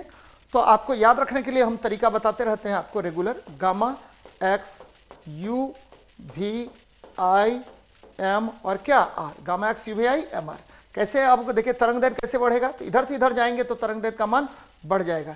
इधर से इधर जाएँगे तो ऊर्जा का मान क्या होगा? घट जाएगा। इधर से इधर जाएँगे तो आवृत्ति का मान क्या होगा? घट जाएगा। तो एकदम ध्यान में रखिएगा। ठीक है बार बार हम बताते रहते हैं। अब देखिए, आपको, ठीक है ईएमडब्ल्यू e नहीं है। कौन कौन नहीं है ईएमडब्ल्यू ईएमडब्ल्यू e नहीं है। कौन कौन नहीं है? तो सबसे पहले है आपको कौन? तो बच्चे अल्फ़ा। उसके बाद कौन है? बीटा। उसके बाद कौन है? कैथोड। उसके बाद क्या है? एनोड। है? एनोड है। इसके बाद क्या है? तो बच्चे, अल्फ़ा, बीटा, कैथोड, एनोड। फिर क्या हो गया? एक और रेज लेते हैं। Alpha, beta, cathode, anode. हाँ फिर और रेज लीजिए। जैसे कॉस्मिक और ध्वनि तरंग। ध्वनि। ध्वनि में सब। ध्वनि रेज। साउंड वेव्स साउंड में सब। ठीक है? कौन कौन तो बच्चे ऑडिबल साउंड ऑडिबल ऑडिबल मतलब दृश्य ऑडिबल मतलब क्या हुआ? आपको श्रव्य ध्वनि फिर क्या हो गया? इंफ्रासोनिक्स अब श्रव्य ध्वनि और पराश्रव्य अल्ट्रासोनिक्स ध्वनि। तो ये ध्यान में रखिएगा। ऑडिबल इंफ्रासोनिक्स अल्ट्रासोनिक्स ये आपको क्या है? तो आपको विद्युत चुंबकीय तरंग नहीं है। एकदम रिपीट कर लीजिए। कौन कौन विद्युत चुंबकीय तरंग नहीं है? अल्फ़ा बीटा कैथोड एनोड फिर कौन? ध्वनि तरंग में तीनों और कॉस्मिक किरण। ठीक है, अब देखिए इसमें क्या होगा आंसर बच्चे कैथोड रेज, ये विद्युत चुंबकीय तरंग नहीं है। आंसर क्या हो जाएगा? Cathode rays. ये आंसर हो गया। चलिए आगे बढ़ते हैं। अठारह में इलेक्ट्रॉन की खोज किसने की थी? तो अठारह में इलेक्ट्रॉन की खोज करने का काम किया था जे जे थॉमसन ने। मैं बार बार आपको बताता रहता हूँ कि देखिए, ठीक है, आपको अगर बात करें हम, इलेक्ट्रॉन इलेक्ट्रॉन का नाम दिया था किसने? इलेक्ट्रॉन्स का नाम दिया था स्टोनी ने। स्टोनी खोज किया, किस, किसने किया था? तो जे जे थॉमसन ने। J J Thomson. और बच्चे, इलेक्ट्रॉन। इलेक्ट्रॉन जो है, ठीक है, इसके बारे में आवेश की गणना, इलेक्ट्रॉन के आवेश की गणना मिलिकन ने किया था। आवेश की गणना किसने की थी? मिलिकन ने। मिलिकन ने किया था। ऑयल ड्रॉप एक्सपेरिमेंट के द्वारा। मिलिकन ने किया था। किसके द्वारा? तो बच्चे, इन्होंने किया था ऑयल ड्रॉप एक्सपेरिमेंट तेल बुंद प्रयोग विधि के द्वारा। यहाँ देखिए टेस्ला टेस्ला जो है, चुंबकीय क्षेत्र का असाई मात्रक है। आइजक न्यूटन ने आपको प्रकाश के बारे में बताया था। बच्चे, प्रकाश सात रंगों का मिश्रण होता है। एडिसन ने क्या किया था? बल्ब की खोज की थी, बल्ब का निर्माण किया था। तो ये सब बातें याद रखिएगा। इलेक्ट्रॉन प्रोटॉन और न्यूट्रॉन तीनों न्यूट्रॉन की खोज जे जे जेम्स चैडविक ने किया था। ठीक है, आपको प्रोटॉन की खोज रदरफोर्ड में बार बार बताता रहता हूँ, लेकिन एनोड किरण की खोज की थी किसने तो गोल्ड स्ट्रीन ने किया था। बाद में रदरफोर्ड ने बताया कि देखिए, एनोड किरण छोटे छोटे कणों से बना है, जिसको प्रोटोन कहा जाता है। इलेक्ट्रॉन की खोज जे जे थॉम्सन ने किया था। तो ये बातें याद रखिएगा। बार बार आपसे प्रश्न पूछेगा। आगे देखते हैं।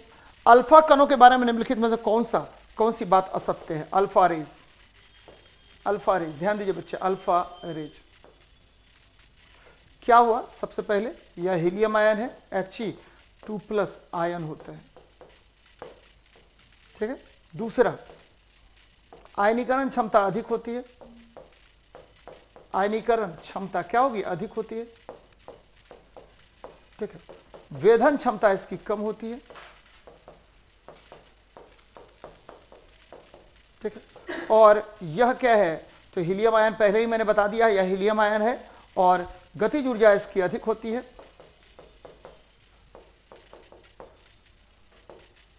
सबसे अधिक गतिज ऊर्जा होगी वेग जो है, वेग वेग एक बटा दस गुना प्रकाश का वेग होता है। सी प्रकाश का वेग है। ठीक है? तो बच्चे, क्या है? अल्फ़ा किरण, हीलियम आयन होता है। अब यहाँ पर आइए। इसकी उच्च आयनीकरण क्षमता होती है। ठीक है? आयनीकरण क्षमता उच्च होती है, सही बात है। उच्च वेधन क्षमता, ये गलत बात है। सबसे अधिक वेधन क्षमता किसकी होगी? तो गामा की। उसके बाद बीटा की, उसके बाद अल्फ़ा की। ये ध्यान में रखिएगा। सबसे अधिक वेधन क्षमता, सर्वाधिक वेधन क्षमता।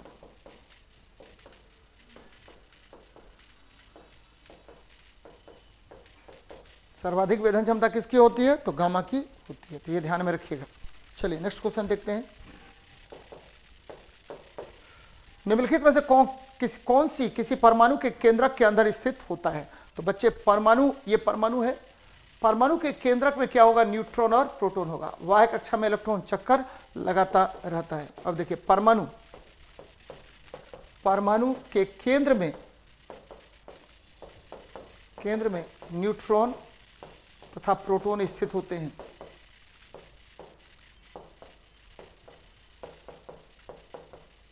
होते हैं। इलेक्ट्रॉन। वह, कक्षा में चक्कर लगाता रहता है। कक्षा में चक्कर लगाता रहता है। चक्कर लगाता रहता है। एकदम ध्यान में रखिएगा, कुछ है नहीं।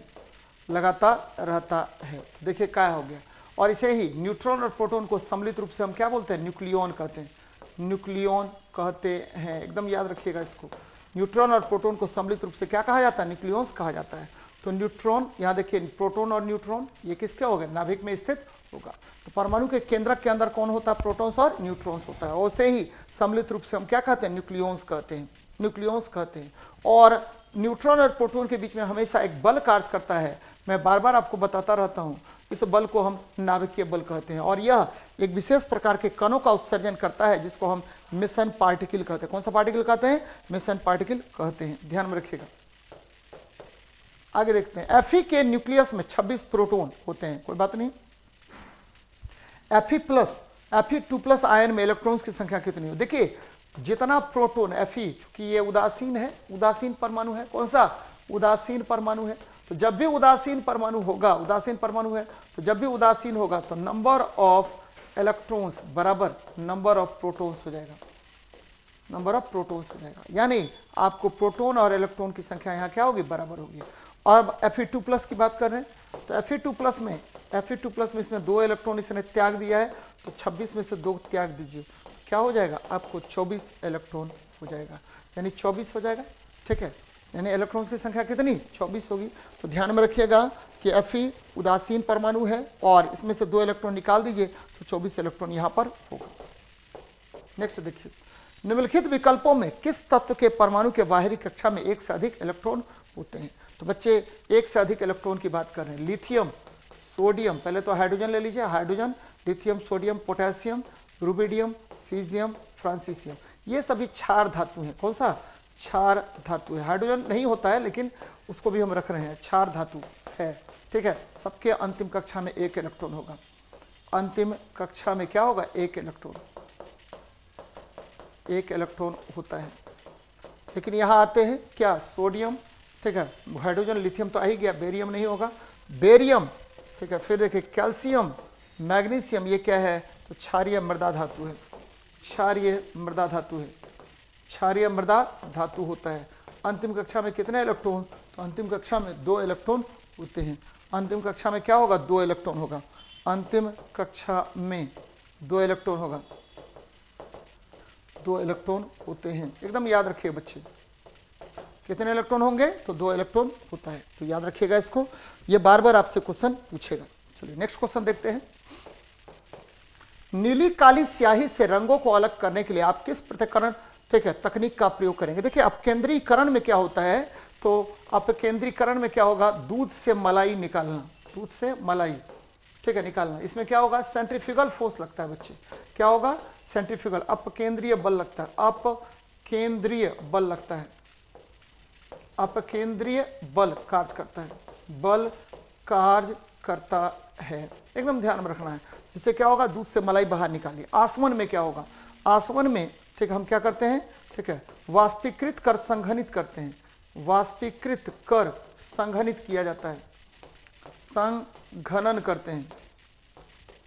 वाष्पीकरण कर संघनन करते हैं बच्चे। एकदम ध्यान में रखिएगा। वाष्पीकृत करेंगे फिर जाकर के संघनित करेंगे तो पदार्थ आपको अलग हो जाएगा। क्रोमेटोग्राफी में क्या होता है? तो आ, ये जो है ये इसमें अधिशोषण विधि द्वारा अधिशोषण एडजॉप्शन प्रक्रिया के द्वारा अधिशोषण द्वारा अलग किया जाता है। अलग करते हैं। किस विधि द्वारा? अधिशोषण द्वारा अलग करते हैं बच्चे। पदार्थों को अधिशोषण विधि द्वारा जब अलग किया अधिशोषण मतलब क्या हुआ? अलग अलग स्थानों पर ठीक अलग अलग पदार्थों के अवशोषण क्षमता में अंतर को अधिशोषण कहा जाता है। क्या कहते हैं? अधिशोषण कहा जाता है। तो अधिशोषण प्रक्रिया के द्वारा हम इसको क्या करते हैं? अलग करने की प्रक्रिया अपनाते हैं। इसको क्रोमेटोग्राफी कहा जाता है। और ऊर्धपातन देखिए, क्या करेंगे कि ठोस को सीधे गैस में बदल देंगे। ठोस को सीधे गैस में बदल देते हैं। इस प्रक्रिया को अधिशोषण कहा जाता है। यानी ऊर्ध्वपातन विधि में क्या होता है कि आपको, ठीक है, सीधे ठोस से गैस में परिवर्तित कर दिया जाता है। इस प्रक्रिया को अधिशोषण कहते हैं, ऊर्ध्वपातन कहते हैं। जनरली अमोनियम क्लोराइड ठीक है ammonium chloride N H four C L नौसादर या कपूर, ये सब का क्या होगा? तो बेंजीन, एंथ्रासीन ठीक है ठोस आयोडीन, ये सब का ऊर्ध्वपातन हम लोग कर सकते हैं।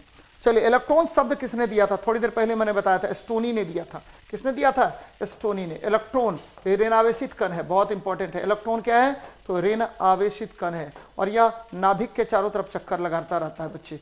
इलेक्ट्रॉन के कारण ही आपको ऋणावेशित कण है। इलेक्ट्रॉन के कारण ही आपको रासायनिक गुण होता है।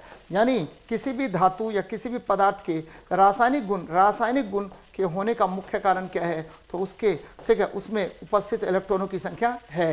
यहाँ देखिए, जेम्स चैडविक, मैं बार बार बताता रहता हूँ कि न्यूट्रॉन की खोज इन्होंने ही की थी, रदरफोर्ड, ठीक है, ने प्रोटोन की खोज की थी। तो एकदम याद रखिएगा बच्चे। आगे देख रहे हैं, रदरफोर्ड ने नाभिक का सिद्धांत भी दिया था। धातु ब्लॉकों में दरार और खामियों का पता लगाने के लिए निम्नलिखित में से किस का उपयोग किया जाता है? तो बच्चे अल्ट्रासोनिक वेव्स का प्रयोग करेंगे। आपको अल्ट्रासोनिक जिस तरंग की तरंग याद रखिए अल्ट्रासोनिक्स वेव का प्रयोग अल्ट्रासोनिक्स वेव का प्रयोग करते हैं। और यहाँ आवृत्ति जो है बीस हज़ार हर्ज से क्या होगा? अधिक होता है। यहाँ आवृत्ति कितना? बीस हज़ार हर्ज से अधिक होता है। हाइपरसोनिक ध्वनि तरंग क्या होता है? बच्चा, हाइपरसोनिक का मतलब हुआ हाइपरसोनिक का मतलब हुआ, ध्वनि के चाल से पाँच से दस गुना अधिक अगर किसी की चाल है। अगर किसी वस्तु की चाल ध्वनि के चाल से पाँच से दस गुना अधिक है, पाँच से दस गुना अधिक होता है। किसकी चाल? ध्वनि का वायु में चाल से पाँच से दस गुना चाल अगर अधिक होता है तो ऐसे वस्तु को हम क्या कहते हैं? हाइपरसोनिक कहते हैं। अब देखिए श्रव्य ध्वनि। आपको पता है बच्चे कि बीस हर्ज से बीस हज़ार हर्ज की ध्वनि को ही मनुष्य सुन सकता है। इसको बोलते हैं श्रव्य ध्वनि। और इंफ्रासोनिक्स। बीस हर्ज से कम अगर ध्वनि होता है तो इस ध्वनि को बोलते हैं क्या? इंफ्रासोनिक्स बोलते हैं। तो अल्ट्रासोनिक्स का प्रयोग आपको माँ के गर्भ में पल रहे बच्चे का पता लगाने के लिए, ठीक है, पेट का एक्सरे कराने के पेट का पेट पेट में किसी भी प्रकार के खामियों का पता लगाने के लिए हम लोग किसका प्रयोग करेंगे? तो बच्चे अल्ट्रासोनिक वेब्स का प्रयोग करते हैं। तो ये ध्यान में आपको रखनी चाहिए। बार बार इस तरह का प्रश्न आपसे पूछेगा। चलिए, आगे बढ़ते हैं। हम लोग बात करते हैं नेक्स्ट क्वेश्चन का। क्या कह रहा है नेक्स्ट क्वेश्चन में? यहाँ देखिए बेटा, शून्य से शून्य कैलविन पर अर्धचालक का प्रतिरोध कितना होता है? तो आप सभी बच्चों को पता होगा, शून्य प्रतिरोध, यानी आर का मान ज़ीरो होगा। आर का मान क्या होगा? ज़ीरो हो जाएगा अनंत हो जाएगा बच्चे। ये क्या होगा? अनंत हो जाएगा। यानी, ठीक है, आपको यहाँ यहाँ ये पता होनी चाहिए कि शून्य कैलविन पर अर्धचालक का प्रतिरोध अनंत हो जाता है। यह यह आपको इंसुलेटर की भांति काम करने लगता है। इंसु लेटर। इंसुलेटर मतलब क्या? वो कुचालक की भांति कार्य करने लगेगा। कुचालक की भांति कार्य करता है। एकदम याद रखिए बच्चे, भांति कार्य करता है, कार्य करता है। अब देखिए प्रतिरोध क्या है? तो विद्युत धारा के मार्ग में अवरोध को हम क्या कहते हैं? प्रतिरोध कहते हैं। तो ये अनंत हो जाएगा। क्या होगा? अनंत हो जाएगा। अनंत हो जाएगा। बच्चे, शून्य कैलविन पर अर्धचालक का प्रतिरोध क्या होगा? तो अनंत हो जाता है। एकदम ध्यान में रखिएगा। क्या होगा? तो बच्चे, अनंत हो जाता है। याद रखना बार बार आपसे क्वेश्चन पूछेगा। मैं बार बार आपको ये भी बताता रहता हूँ कि देखिए, आपको पदार्थ कितने प्रकार के तो पदार्थ जनरली तीन प्रकार के होते हैं। एक होता है यानी चालकता के आधार पर पदार्थ तीन प्रकार के। एक होता है चालक जिसमें, ठीक है, आपको क्या होगा तो इसमें एनर्जी गैप शून्य होता है बच्चे। एनर्जी गैप होता ही नहीं है। और इसमें कंडक्शन इलेक्ट्रॉन होता है। कंडक्शन इलेक्ट्रॉन होता है जो क्या करता है, इधर से उधर मूव करता रहता है। फ्री इलेक्ट्रॉन्स पाए जाते हैं। फिर क्या हो गया, अर्धचालक? तो अर्धचालक का एनर्जी गैप कितना होता है? थोड़ी देर पहले मैंने बताया था, एक इलेक्ट्रॉन वोल्ट होता है। और जनरली आपको दूसरा जो हो गया, क्या हो गया? तो बच्चे कुचालक पदार्थ हो गया। इसका एनर्जी गैप बहुत अधिक होता है। लगभग लगभग आपको, ठीक है 12 से, ठीक है 15 इलेक्ट्रॉन वोल्ट के आसपास होता है। 12 से 15 इलेक्ट्रॉन वोल्ट होगा इसका एनर्जी गैप 12 से 15 इलेक्ट्रॉन वोल्ट होता है और इसमें कोई भी इलेक्ट्रॉन फ्री मूवमेंट के लिए नहीं होता है। तो पदार्थ की चालकता के आधार पर, पदार्थ कितने प्रकार के तो आपको तीन प्रकार के चालक, ठीक है, उसके बाद कुचालक और अर्धचालक हो गया। मैंने बताया भी थोड़ी देर पहले कि देखिए, सभी उपधातु को अर्धचालक नहीं बोलेंगे, ठीक है? चलिए, निम्नलिखित में से कौन पौधा के लिए आवश्यक बृहद पोषक तत्व है? देखिए, पौधे के लिए दो प्रकार के तत्वों की आवश्यकता होती है। पौधों के लिए आवश्यक तत्व। पौधों के लिए कौन आवश्यक तत्व? कौन कौन होगा? तो बच्चे, दो प्रकार के तत्व आवश्यक होंगे। आवश्यक तत्व होगा दो। कौन कौन तो एक होगा बृहद बृहद बृहद मात्रिक तत्व होता है बृहद, और इसमें कौन कौन होगा बृहद? में carbon, hydrogen, oxygen, nitrogen, phosphorus, potassium, ठीक है, कैल्शियम, मैग्नीशियम, और क्या होगा? सल्फ़र होगा। ये देखिए चार दो, छ, तीन, नौ हो गया। सूक्ष्म मात्रिक तत्व कौन होगा? सूक्ष्म मात्रिक तत्व कौन होगा? बच्चे, सूक्ष्म मात्रिक तत्व होता है, ध्यान में रखिएगा। ठीक है, क्या क्या क्या होगा? बच्चे, मैग्नीज, ठीक है, फिर आपको मोलिब्डेनम, ठीक है, बोरोन, उसके बाद आ जाइए फेरस, ठीक है, निकल, फेरस, कोबाल्ट फेरस, कोबाल्ट और, ठीक है, फिर आ जाइए, ठीक है, निकल और एक और लीजिए, मैग्नीज और ये कॉपर। इतना तत्व जो है, क्या है? आपको सूक्ष्म मात्रिक तत्व है। तो यहाँ देखिए, क्या कह रहा है? बृहद मात्रिक या बृहद पोषक तत्व कौन होगा? मैग्नीशियम होगा। Carbon, hydrogen, oxygen, nitrogen, phosphorus, calcium, magnesium और सल्फ़र। ये क्या है? बृहद मात्रिक तत्व जबकि जिंक, लोहा और मैग्नीज, ये सब क्या होगा? तो आपको सूक्ष्म मात्रिक तत्व होता है। चलिए नेक्स्ट देखते हैं। जब इक्कीसवें ऑटोसोमल क्रोमोजोम में एक अतिरिक्त क्रोमोजोम आके जुड़ जाता है तो इससे अनुवांशिक विकार को क्या कहा जाता है? तो बच्चे, याद रखिए, इसको बोलते हैं हम लोग क्या? तो ध्यान में रखिए बार बार आपको ये क्वेश्चन पूछेगा और हम लोग थोड़ी सी बातें यहाँ देखेंगे क्या क्या कहता है कैसे कैसे होता है। बच्चे, सबसे पहले देखिए। पटाऊ सिंड्रोम में, बच्चे एकदम याद रखिए, पटाऊ सिंड्रोम में क्या होता है कि अठारहवें अठारहवें क्रोमोजोम में एक संख्या बढ़ जाएगा। क्रोमोजोम क्या होगा? एक बढ़ेगा। एक बढ़ जाएगा। एक बढ़ेगा। एक बढ़ेगा। कौन सा क्रोमोजोम में? अठारहवा क्रोमोजोम। में एक बढ़ेगा। और व्यक्ति जो है, वो बेवकूफ़ होता है। जनरली एक से तीन महीना ही मैक्सिमम आयु होती है बच्चों की, और बच्चे मर जाते हैं। डाउन सिंड्रोम में क्या होगा? तो आपको जनरली ठीक है, आपको इक्कीसवां क्रोमोजोम, इक्कीसवें क्रोमोजोम में एक बढ़ जाता है बच्चे। इक्कीसवें क्रोमोजोम में क्या होगा? क्रोमोजोम में एक बढ़ जाता है। एक बढ़ जाता है। चलिए। ये देखिए क्या हो जाएगा? एक बढ़ जाएगा। कौन सा क्रोमोजोम में? तो इक्कीसवें क्रोमोजोम में एक बढ़ जाता है। ठीक है एक के स्थान पर क्या होगा? तीन हो जाएगा। छोटा होगा छो, छोटा कद होगा मंद बुद्धि होगी और ठीक है छोटा कद और मंद बुद्धि वाला व्यक्ति होगा। छोटा कद और मंद बुद्धि होगा। मंद बुद्धि होगा। एकदम ध्यान में रखिएगा। मंद बुद्धि होता है। चलिए टर्नर सिंड्रोम पर बात कर लेते हैं। टर्नर सिंड्रोम में क्या होगा कि केवल एक एक्स क्रोमोजोम होता है। बच्चे 44 प्लस एक्स हो जाएगा। ध्यान में रखिएगा, महिलाओं में प्राय होता है 44 प्लस एक्स हो जाता है। यानी आपको क्या होगा, गर्भाशय विकसित नहीं होगा, ठीक है, अंडाणु उत्पादित नहीं होगा तो ये टर्नर सिंड्रोम हो गया बच्चे। यहाँ पैंतालीस ही क्रोमोजोम होता है, केवल एक ही एक्स क्रोमोजोम होगा। क्लिनफिल्टर सिंड्रोम की बात पर बात कर लेते बच्चे। क्लिनफिल्टर सिंड्रोम जनरली महिलाओं में होता है और यहाँ पर क्या होगा कि एक क्रोमोजोम बढ़ जाता है, एक एक्स क्रोमोजोम बढ़ गया। ये देखिए एक्स एक्स वाई आ गया। एक्स एक्स वाई आ गया। चौवालीस प्लस एक्स एक्स वाई हो गया। यानी आपको क्या होगा? तो महिलाओं में महिलाओं में जनरली पुरुष के गुण पाए जाएँगे। ठीक है? तो ये ध्यान में रखिएगा। चौवालीस प्लस एक्स एक्स वाई आ जाएगा। तो यहाँ कह रहा है कि इक्कीसवें ऑटोसोमल क्रोमोजोम में एक अतिरिक्त क्रोमोजोम जुड़ जाता है यह किस आनुवांशिक विकार में होता है? तो आपको डाउन सैंड्रोम में होगा। फिर से मैं रिपीट कर रहा हूँ। पटाउ सैंड्रोम में अठारहवें क्रोमोजोम में परिवर्तन होता है। टर्नर सैंड्रोम में एक एक्स क्रोमोजोम कम हो जाता है। क्लिनफेंट्रल सैंड्रोम में एक एक्स क्रोमोजोम बढ़ जाता है। तो ध्यान में रखिएगा ये सारी बातें। और ये सभी क्या है? तो ये देखिए, अनुवांशिक रोग है बच्चे। परम शून्य तापमान क्या होता है? देखिए, परम शून्य ताप, अभी तुरंत मैंने बताया था, परम शून्य ताप। मैं बार बार आपको बताता रहता हूँ, परम शून्य ताप क्या क्या होगा? एब्सोल्यूट टेम्परेचर सबसे पहले कैनेटिक एनर्जी ठीक है कैनेटिक एनर्जी ऑफ़ गैसेस ये ज़ीरो हो जाएगा। क्या होगा? ज़ीरो वॉल्यूम आपको ज़ीरो हो जाएगा। उसके बाद खोजेंगे वॉल्यूम ज़ीरो सभी गुण समाप्त हो जाएँगे। सभी गुण क्या होंगे? समाप्त हो जाएगा, परम शून्य ताप पर और परम शून्य ताप होता कि, क्या है बच्चे? तो परम शून्य ताप होता है ज़ीरो कैलविन। या आपको तो या माइनस दो सौ तिहत्तर point one five degree Celsius होगा, परम शून्य ताप होगा। तो गैसों में आणविक गति घटने लगती है। एकदम ध्यान में रखिएगा। गैसों में आणविक गति घटने लगती है। क्या क्या मैंने बताया? कैनेटिक एनर्जी अब गैस शून्य हो जाएगा, वॉल्यूम शून्य हो जाएगा, सभी गुण समाप्त हो जाएगा। और ये तापमान क्या होता है? ज़ीरो कैलविन, या दो डिग्री सेल्सियस होता है। चलिए ताप बढ़ने पर सभी ठोस पदार्थों की विलयता द्रवों में। बच्चे, ठीक है, एकदम बहुत अच्छा क्वेश्चन है। क्या कह रहे हैं? ठीक है, कि द्रव में द्रव में ठोस की विलयता, ठोस की विलयता विलयता, ठीक है सॉलिबिलिटी क्या होगा? तापमान अगर बढ़ेगा तो ये बढ़ जाएगा। तापमान अगर बढ़ेगा तो बढ़ जाएगा। तो ये क्या होगा? बढ़ती है, एकदम। लेकिन आपको, ठीक है, आपको ठोस का गलनांक जो है, ठीक है, ठोस का गलनांक की बात करें तो किसी किसी किसी ठोस का गलनांक जो है, उसका शुद्धता का परिचय होता है बच्चे। लेकिन अगर हम उसको हिमांक की बात करें तो अगर किसी पदार्थ को जमाएँगे तो क्या होगा, ठीक है तो उसके, उसमें क्या होगा, घट जाता है। क्या होगा, घट जाएगा बच्चे, गलनांक घट जाएगा। यानी द्रव में अशुद्धियों के मिलाने पर उसका गलनांक, या ठोस में अशुद्धियों के मिलाने पर उसका गलनांक घट जाता है। जैसे, ठीक, आइसक्रीम में अगर अशुद्धि मिला देते हैं क्या होगा आइसक्रीम की का गलनांक घट जाएगा। खट्टे स्वाद के लिए कोशिकाएँ, ठीक है, जिहवा के किस भाग में स्थित होता है? बच्चे, बड़ा अच्छा क्वेश्चन है, यहाँ देखिए।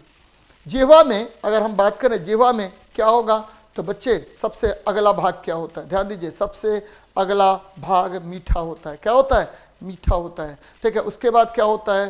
तो कड़वा होगा और खट्टा सबसे पिछले भाग में होता है, पार्श्व भाग में होगा। क्या होगा? पार्श्व भाग में। फिर से रिपीट कर रहे हैं, ये देखिए, ये अग्र भाग जो है अग्र भाग ये क्या होता है? तो बच्चे, ये हो गया स्वीट क्या होगा? स्वीट उसके तुरंत वाला भाग जो होता है, ये तुरंत वाला भाग, ये वाला भाग, ये वाला कंठ के पास वाला भाग बीटर होगा। क्या होगा? बीटर होगा। और ये देखिए, ये क्या होगा? तो ये वाला भाग जो होता है जस्ट तुरंत, आगे से जस्ट पीछे वाला भाग क्या होगा? तो बच्चे सॉल्टी होता है। क्या होता है? सॉल्टी नमकीन होगा। नमकीन होगा। उसके तुरंत वाला भाग क्या होगा? तो सार होगा। सार होगा। और सबसे पीछे वाला भाग क्या होगा? तो कड़वा होगा। कड़वा होगा, ठीक है? कड़वा होगा। तो यहाँ देखिए, खट्टा स्वाद बोल रहा है, खट्टा, ठीक है? खट्टा स्वाद बोल रहा है। तो स्वीट सबसे क्या होगा? अगला भाग अग्रभाग स्वीट सबसे अग्रभाग खट्टे स्वाद के लिए कोशिकाओं, खट्टे स्वाद के लिए कोशिकाओं। तो इंग्लिश में बोला, ये मैंने, ठीक है, सॉल्टी हो गया, सार, ठीक है? बिटर बिटर मतलब कड़वा हो गया बेटा। सार, ठीक है? सार तो क्या होगा? पिछले भाग में, पार्श्व भाग में, पार्श्व भाग में। ठीक है, अगले भाग में मीठा हो गया, पिछले भाग में ये हो गया, मध्य भाग में नहीं, गलत है पार्श्व भाग ठीक है। अच्छा तो एकदम ध्यान में रखिएगा। निद्रा रोग किसके कारण होता है? तो निद्रा रोग ठीक है, आपको प्लाज्मोडियम के कारण मलेरिया होता है, सब मैंने बताया थोड़ी देर पहले। प्लाज्मोडियम के कारण क्या होगा? मलेरिया होगा। एंट अमीबा के कारण दो तरह के रोग होते हैं। जनरली एंट अमीबा हिस्टोलिका बोलेंगे हिस्टोलिका बोलेंगे।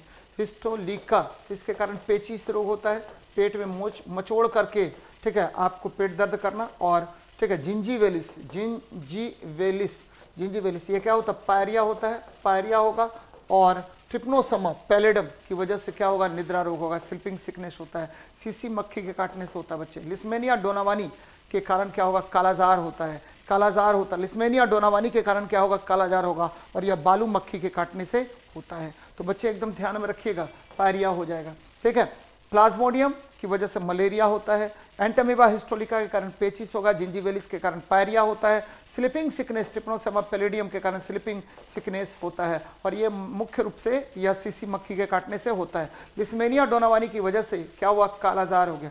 काला आजार काला आजार रोग होता है, और यह ठीक है, बालू मक्खी के काटने से होता है, सैंड फ्लाई के काटने से होता है। तो ये बातें याद रखिएगा, आंसर हो जाएगा इसका कौन सा? तो बच्चे, यह आंसर होगा निद्रा रोग। तो ट्रिप्नोसमा पैलेडम बोलते हैं तो इसकी वजह से होता है स्लिपिंग सिकनेस कौन सा सिकनेस होगा? स्लिपिंग सिकनेस होगा। और सीसी मक्खी के काटने से होता है। तो ये बातें हैं। और ये आज का जो है, आपका महामैराथन यही खत्म करते हैं बच्चे।